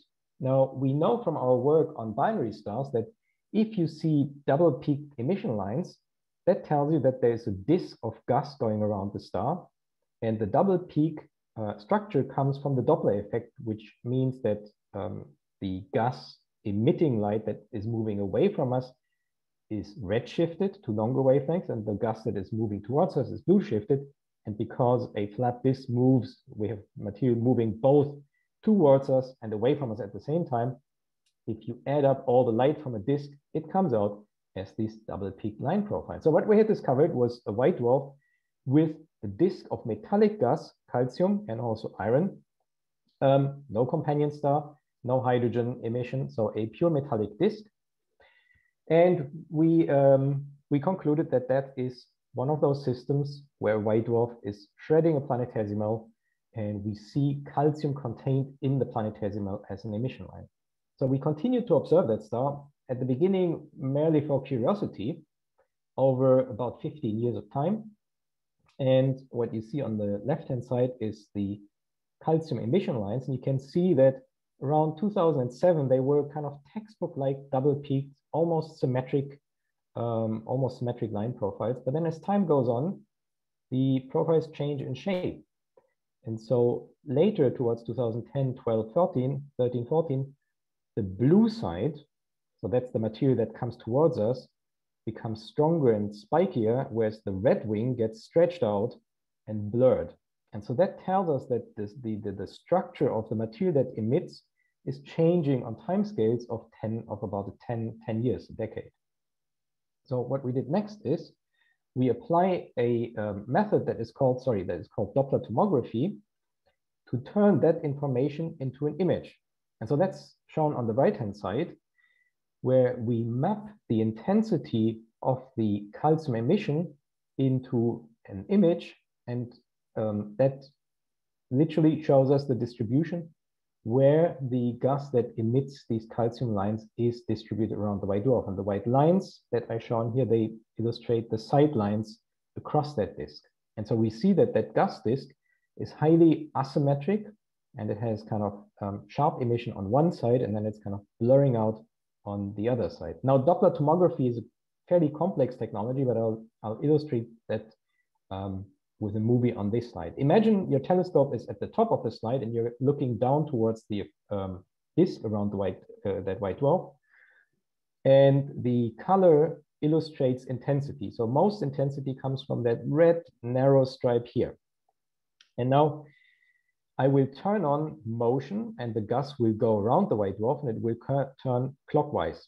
But at this moment in time, if you are located up here and the gas will turn clockwise, that means when you observe, you have the loudest redshift and most of the light is expected to be in this sharp peak on the right side in the profile. And that's exactly what we see here. So the, um, the panel on the right shows the actual data. Now switching on the movie, you can see how the gas is going around the white dwarf and the projection towards us is changing all the time. And so the data shows, the, the, the plot with the spectrum shows the actual data. And from that data, we can reproject and construct that image. Now, talking about debris disks, um, debris disks are actually fairly common. So stars can have debris disks from the formation of planets, but planets can have debris disks from, for example, moons that got too close. And Saturn has a ring of uh, debris, has a, has a system of debris rings, probably originating from the tidal disruption of the moon that ventured too close to it. And so to scale, this is the white dwarf system that I was talking about, and then Saturn on the other side. So not very different um, in the overall size, only that you replace a planet by a white dwarf, which has roughly half the mass of the sun. Okay, so moving on to solid planetesimals that were detected around white dwarfs. We stay with the same system that uh, white dwarf that has calcium emission lines, and we know it has a gaseous de debris disk. And again, pretty much driven by curiosity, we observed this star with the GranTeCan telescope. That's a 10 meter telescope on La Palma. And we obtained spectroscopy with a uh, cadence of about two minutes. And we obtained long sequences of spectra because we wanted to probe if these calcium emission lines vary in a stochastic way because um, this can flicker. And we thought we might see some short-term variability. Now, what we found was not what we expected, but it was very exciting because um, it turned out to lead to the uh, discovery of, of a solid planetesimal in that system. So what you see in the top panel is the average spectrum, double peak. Then in the middle uh, panel, we have what we call a trailed spectrum, where the y-axis is basically time. And if you look very hard, you may see that there's a little bit of change in the um, intensity in the left wing that you can just about make out. But to make that stand out clearer, what, what we've done in the bottom panel is that we subtract the average spectrum from each row. And so if we do that, we see that there's a periodic variation in the intensity of the emission lines um, coming out of the data.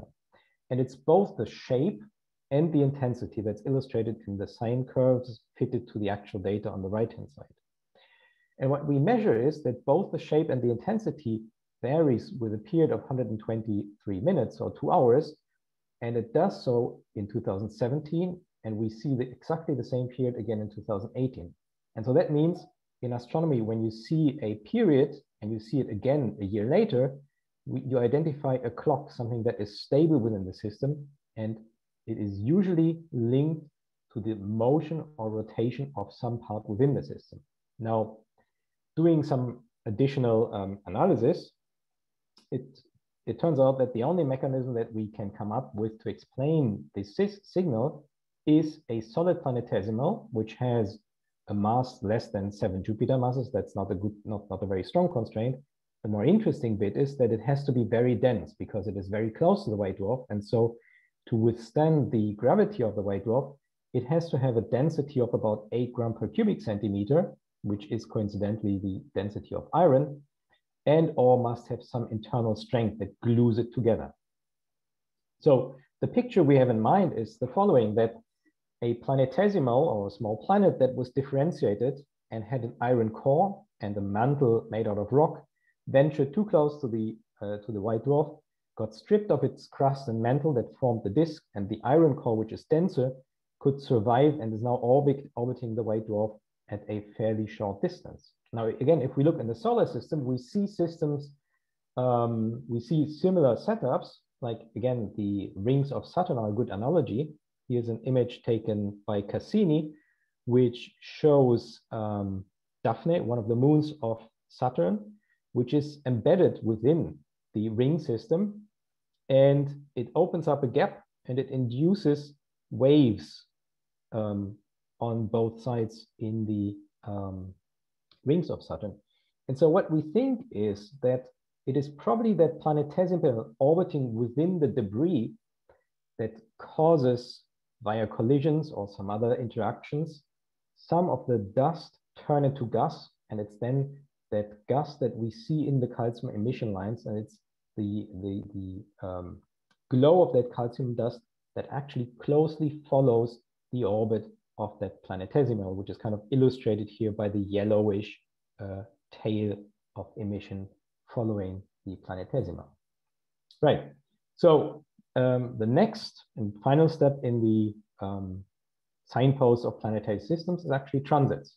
Now, it has been a um, fairly hard experience to go to exoplanet conferences and talk about this because a lot of exoplanet scientists were very skeptical and like a, a, a fairly common comment that we got was, well, show us transits, then we will believe you that there's really something planetary, planetesimal going around these white dwarfs.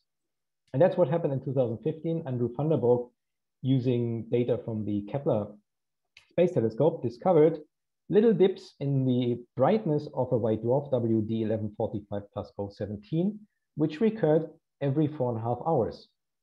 Now, in addition to those transits, this white dwarf has metals in its atmosphere, so it's accreting debris, and it has an infrared excess. So it has all the hallmarks of a white dwarf with an evolved planetary system, and it exhibits transits.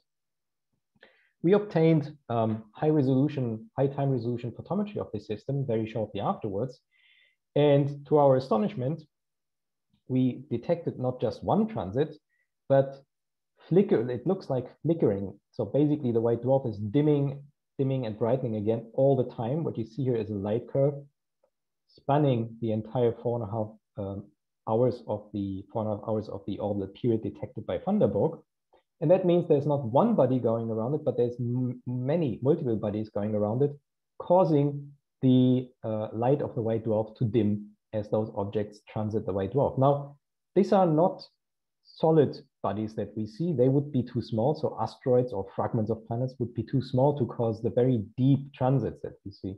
And what we think is that these are solid bodies, fragments, asteroids, and they outgas or release dust clouds. And it's those gas and dust clouds that block the light um, of the white dwarf that we see. Now, what is fascinating is that this system is highly variable. What you see here is light curves obtained over a week, night after night, and they are phase folded on the four and a half hour uh, over the period. And you can see that the features, they can be tracked from one night to the next. And some features appear become stronger, and then blur out. So what we think is that there is a solid um, fragment of some rocky material that starts to break up, releases some dust, and then the dust cloud grows, spreads out, and blocks light of the white dwarf. And so observing these um, individual fragments and measuring their period, it turns out that they have almost identical periods. So we tracked six fragments over um, about 150 of their orbital cycles, so tens of days. And we could show that they are stable in period and in orbital location where they are. So you can think of it like a necklace of uh, fragments around the white dwarf. And their periods differ by only a few seconds. So that means they're all co-orbital.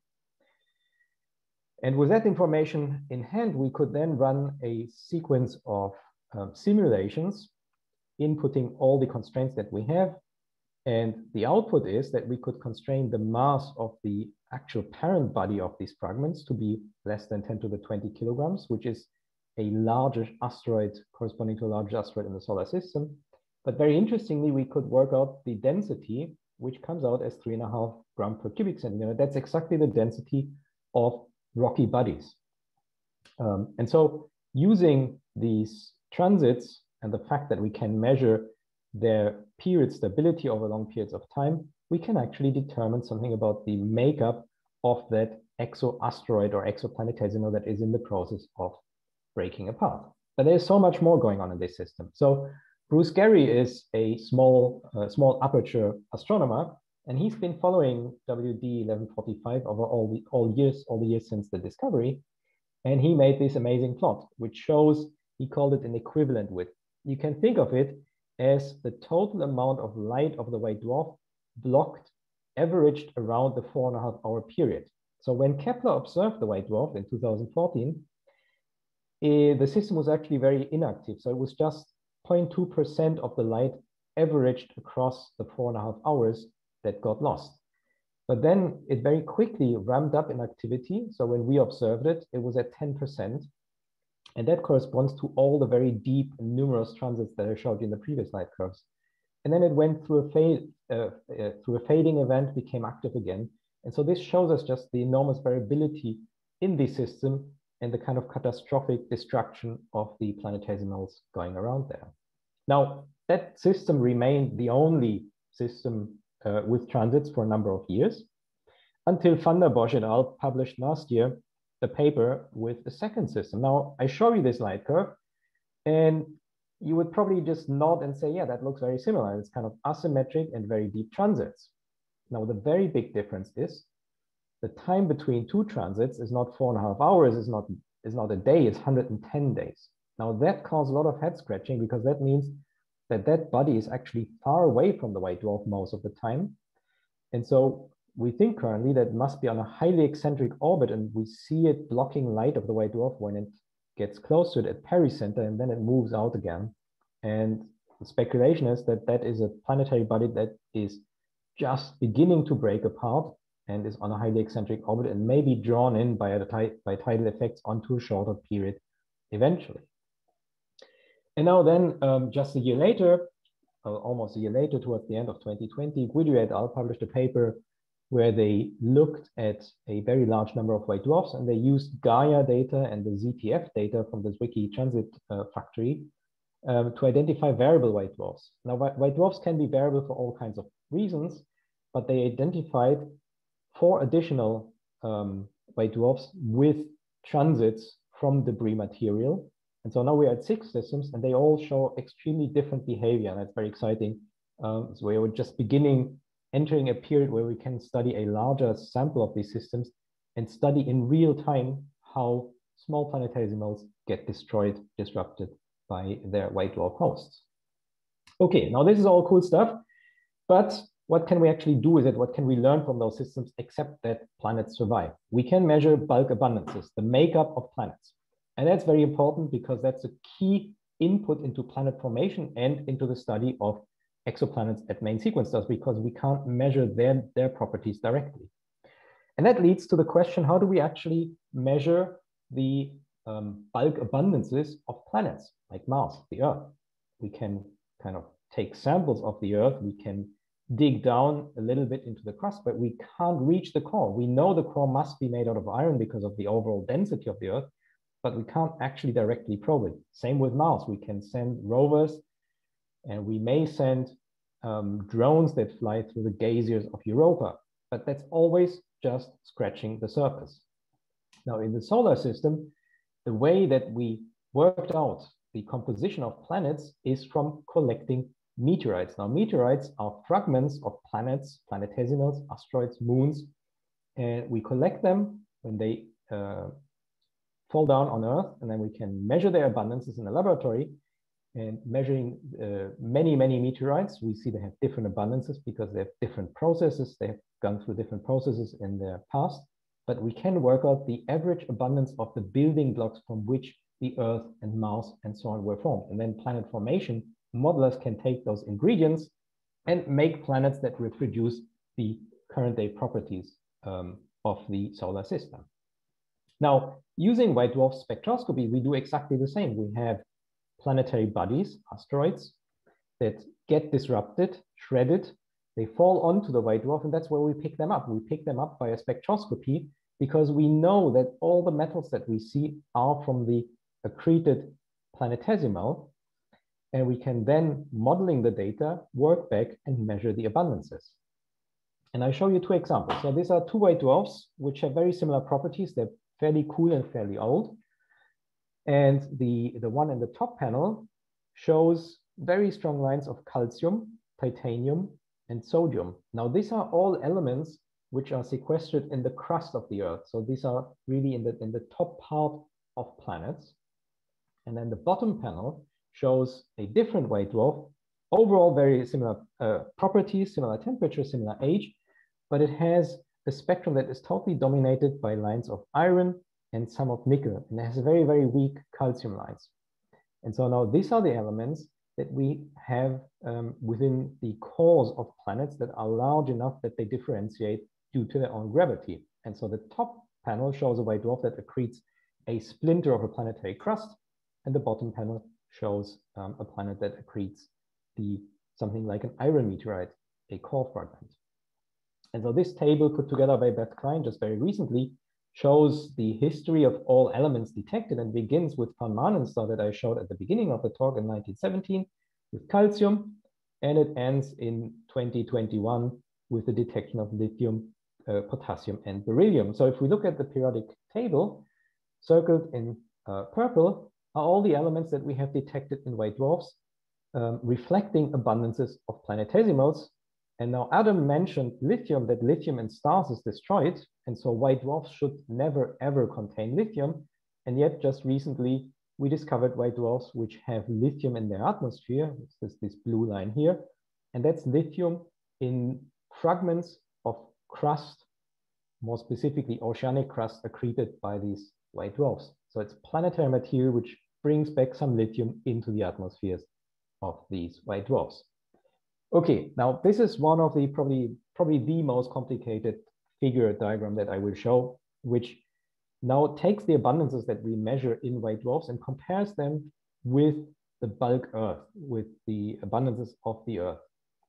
And what it shows is all the individual elements as a ratio relative to silicon, because silicon is one of the elements which is A, most common in the um, mantle and crust of the Earth, and it's easy for us to measure. So we show abundance ratios, and we normalize this ratio by the same ratio in the bulk Earth. This may sound complicated, but it's actually fairly simple. It means that any element that sits close to the dotted line of one has the same abundance in the system that we study as in the Earth.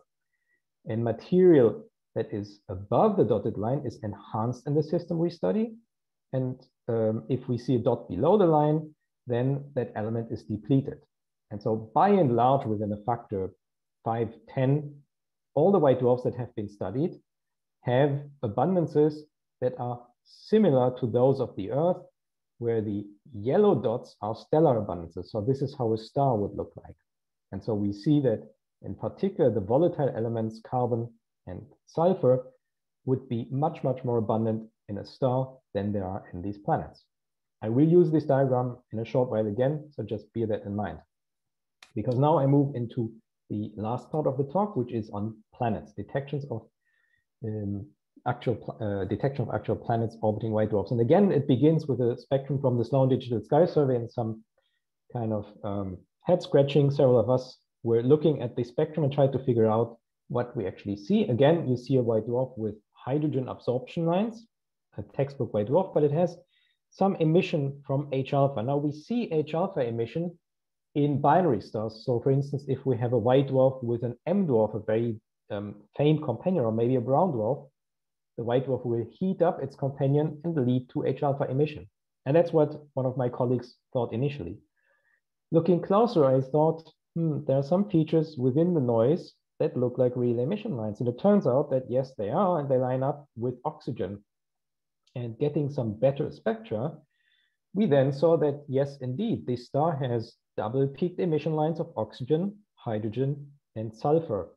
Now, double peaked emission lines, I told you that means there's a gaseous, gaseous debris disk or just a gaseous disk around. However, the elements that we see were totally, totally alien to us. We've never seen sulfur or oxygen emission around any single white dwarf or any white binary white dwarf. And now looking at the um, spectrum of the, the atmosphere of the white dwarf, we see oxygen and sulfur in the atmosphere. So that tells us that there's a disk of hydrogen, oxygen, sulfur around the white dwarf, and that material is accreted onto the white dwarf. We don't see hydrogen in the atmosphere because the hydrogen, uh, the atmosphere itself is composed of hydrogen. And so we see a um, gaseous disk, um, but instead of calcium and iron and magnesium, all the elements that we've seen before, we only detect these three elements. Now, the same abundance plot that I showed before, we um, measure, the, the red circles are the measurements of hydrogen, oxygen, and sulfur. And so they are roughly uh, consistent with the abundances in solar system meteorites.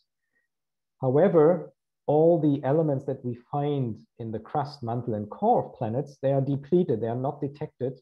And some of those detection limits, they're a factor 100,000 below the abundances in the bulk Earth. And that means what we see there is mainly gaseous volatile material and no detection of solids like rocky, um, rocky or icy material. Now, this links back nicely again to the uh, talk from Adam, where he talked about the uh, atmospheric layers and cloud structures of planets. And so that's something that I had very little knowledge. And while working on this problem, I was reading up on the uh, literature of the solar system. And when I came across this diagram here, I suddenly stopped and I thought, okay, um, in Uranus and Neptune, cool ice giants, we do see hydrogen sulfide and water ice. And that's exactly the three elements that we detect. Now, there is additional material, methane, and some compounds that contain nitrogen, but our spectroscopy is very insensitive to carbon and nitrogen. So we wouldn't detect these elements. What we, what we can detect is sulfur and oxygen and hydrogen. We see those. And so that's when it clicked. And we said, okay, this is a white dwarf that has a giant icy planet that may resemble Uranus and Neptune. Now, why is it accreting? The reason is that this white dwarf is hot and it is evaporating the giant planet close to it. It's like hot Jupiter. And so we know from main sequence stars that have close-in planets that they evaporate planets and drive something like a cometary tail. And the key feature that drives the winds or mass loss from planets from hot Jupiters is the amount of extreme ultraviolet, very high energy photons. Now the white dwarf is hot, it's 20,000 degrees hot. It's hotter than any exoplanet host that we know. And it has plenty of EUV photons. And so what we think we have uh, found here is a white dwarf that is evaporating a ice, icy planet or something that resembles Uranus and Neptune, orbiting the white dwarf at a separation of 10, 15 solar radii, forming that gaseous disk that we detect and then feeds the material with oxygen and sulfur onto the white dwarf. Now, thinking about that, again, we thought we, we thought like, what does that imply actually for this uh, the future of the solar system? Because the sun will become a white dwarf, and the solar white dwarf will be very hot at the beginning, about 100,000 degrees. And so this plot shows the um, luminosity in of the sun as it evolves through the Hertzsprung-Russell diagram, and color-coded is the luminosity in these extreme ultraviolet high energy photons that will evaporate planets. And so we see that as the white dwarf is very hot, it will have 10 times the luminosity of the sun now, and all of the photons will be high energy EUV photons. And so that means that the sun, when it becomes a white dwarf and is initially very hot, it will photoevaporate. It will drive winds off the giant planets at their locations. They don't have to be close. So um, we will have mass loss from Jupiter, Saturn, Uranus, and Neptune, and some of that material that's shown down here in red will make it to the white dwarf that the sun left behind and can be detected. So winding the clock forward again in about 7 billion years, if there is an alien astronomer that points their telescope at the white dwarf left behind by the sun, would detect carbon and sulfur and oxygen originating from Jupiter and Saturn and Uranus and Neptune being accreted by the white dwarf. Now that process is relatively short, only for a couple of million years, but it's a quite exciting um, prediction that uh, our planetary system will be detectable to somebody else in the future. And then finally, just the um, latest discovery from last summer, Andrew Vanderburg um, again discovered this, um, this time using data from the TESS satellite he discovered a white dwarf which becomes fainter um, with a period of about 1.4 days. And again, it dims by about 50%. So that's not kind of microscopically shallow transit as an exoplanet, as in main sequence exoplanet systems, but it's a very deep transit. Now, the reason that he concluded this must be a planet and not a brown dwarf is that the light curve obtained at optical wavelength, um, 480 nanometer, and in the infrared with Spitzer at four and a half micron is identical. So the object that goes around and blocks light from the white dwarf is basically black, doesn't emit light. And so it is cooler and fainter than any brown dwarf could be, which is illustrated in this diagram here that depending on the age of the system, which isn't terribly con well constrained, the mass of the object orbiting this white dwarf is somewhere around 10 or at most 10, 15 um, Jupiter masses. So it's a, it could be a fairly massive planet, but it could also be a lower mass planet. And the period is, as I said, 1.4 days. Now I said planets will evaporate everything close around them. And that means that planet must have um, been transported, scattered, migrated inwards from several AU to a, a, period of one and a half days. And that triggered immediately a whole raft of theory papers, speculations of how is it possible to get planets back in onto such tight orbits. This is basically an orbital period corresponding to that of a hot Jupiter around a main sequence star. Now, just the last, last couple of words on that system. Um, what I found most exciting is, yes, it is a planet, and that's terribly exciting, but what the authors didn't really play out in their papers, that this white dwarf is very nearby, that's 25 parsec away. Now, statistic tells us that if something is found very near to the sun, it's probably quite common. Adam made that point about the brown dwarf at two parsec distance. Now, 25 parsec is still very nearby. In fact, there are only about 300 white dwarfs within 25 parsec. Now, if you think about it, this system is transiting. That means we have also a geometric factor because we need to look into the orbital plane. And that tells us, well, even if there were 50 white dwarfs within 25 uh, parsecs with planets, we would only see one or two or three that transit because of the geometry. And so to me, that suggests that planets on close orbits around white dwarfs are probably fairly common, but we haven't really searched hard enough. And I predict that we will find many more planets orbiting white dwarfs and causing transits in the years to come. And so with that, I um, come to the, to, the, uh, to the end of the talk and just summarize the key points that planetary systems around white dwarfs are as common as they are around main sequence stars. And that may be at the beginning counterintuitive because white dwarfs is the end stage of stellar evolution and you think it might destroy planetary systems, but planetary systems are very robust and will survive in most cases that evolution. And they, detail, they provide us with detailed insight into the abundances of, of exoplanets and now also into the atmospheres of um, exoplanets. They can tell us about how much water is out there because again, we can detect instances where white dwarfs accrete water-rich icy bodies. And they tell us something about the architectures of planetary systems around A and F type stars, which is again very difficult to achieve at main sequence stars because those stars are extremely bright and they um, they're not very uh, favorable for both radial velocity or transit studies. And I'll stop here and take some questions. Thank you very much, Dr. Gänsicke. That was excellent. All right, so um, first I've got a couple of questions of my own while people are typing. Uh, my first question is relating to limiting magnitudes. So for uh, amateurs who are interested in observing these kind of systems, uh, is that feasible? What kind of telescope would you need to be able to observe some of these systems? Yeah, so the the transiting systems, they are the, the uh, unfortunately, this, no, this plot doesn't have um, apparent magnitudes there between 17th and 19th magnitude. Now, because the transits are very deep, they're like 50%, you don't need to have high precision.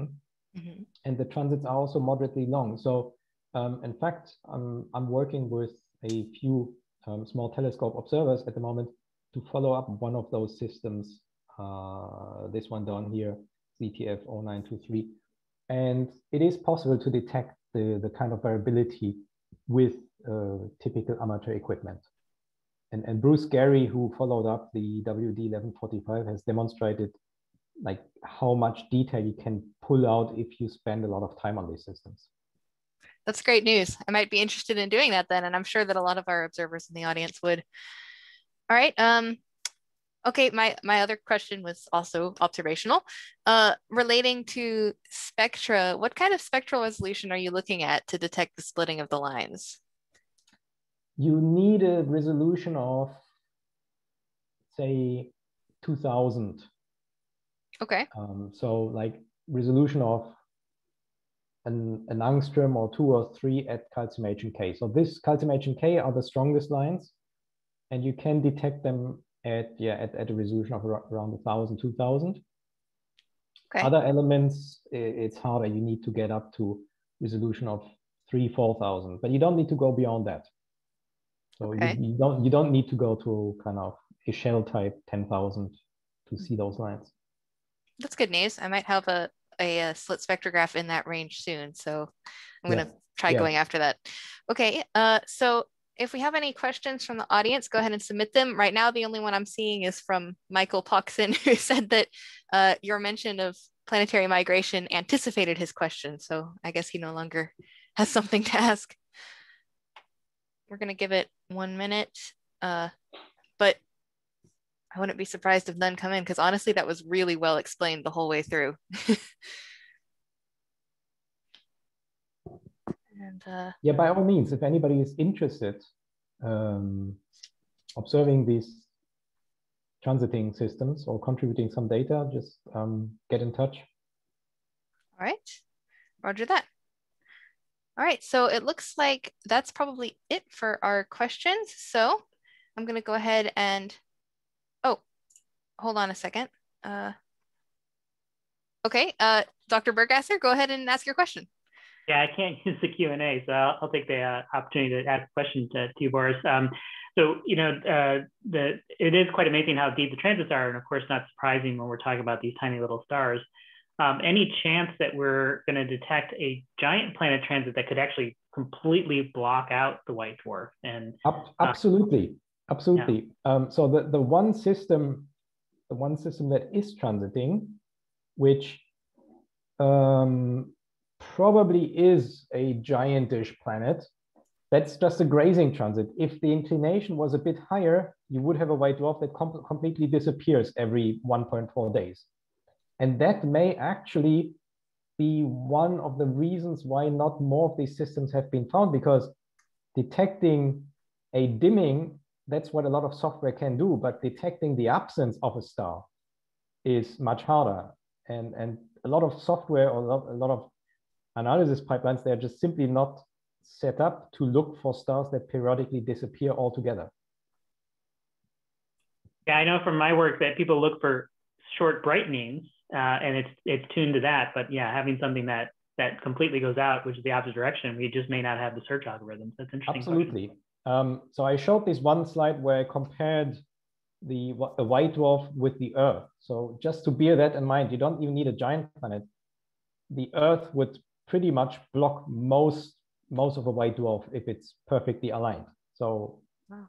uh, super Earths and Neptunes, if they are if you have a, a, favorable inclination, will totally block the light of a white dwarf. That's amazing. wow.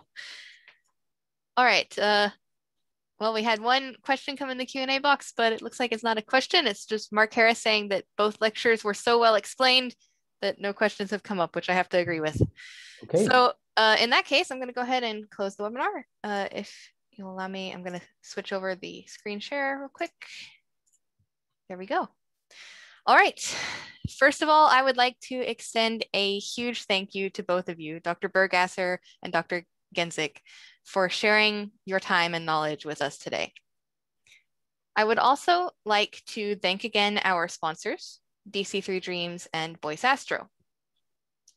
DC3 Dreams provides high-end observatory automation and web-based multi-user remote imaging. The AAVSO net observatories use DC3 Dreams ACP Expert for the Bright Star monitors and other programs. The AAVSO Photometric All Sky Survey project, also known as APASS, has used ACP Expert's AI scheduler to automatically acquire over 500,000 star fields, hands off, at a rate of 1,000 square degrees per night. This has resulted in photometry for over 128 million objects in about 99% of the sky. The Boyce Research Initiative and Education Foundation provides online astronomy education, observatory resources, and research experiences to students, student teams, and schools in order to learn how to perform observations, conduct research, and publish their results in scientific journals, such as the Journal of the AVSO. Be sure to check out their website for more about their work. Today's webinar has been recorded and the recording will soon be made available for free on the AAVSO's YouTube channel, where you can find a full library of webinars just like these. Go check it out, and while you're there, consider subscribing to our channel. Not only will you get notified each time a new lecture is posted, but by hitting that little subscribe button, you will be increasing our educational reach, making YouTube more likely to suggest our videos to others. It's just one more way that you can help support the AAVSO. Speaking of support, this webinar series is being supported by you, the viewer. So please, if you're not a member, join the AAVSO. AAVSO membership comes with a wide array of benefits, including free access to our mentorship program. If you want to become an observer and witness some of this exotic astrophysics for yourself, but you just don't know where to start, our mentors can help. If you are already an AAVSO member, don't forget to renew your membership. And as always, we would be so grateful if you would consider donating to the AAVSO. Every donation matters and goes towards making programs like this come to life.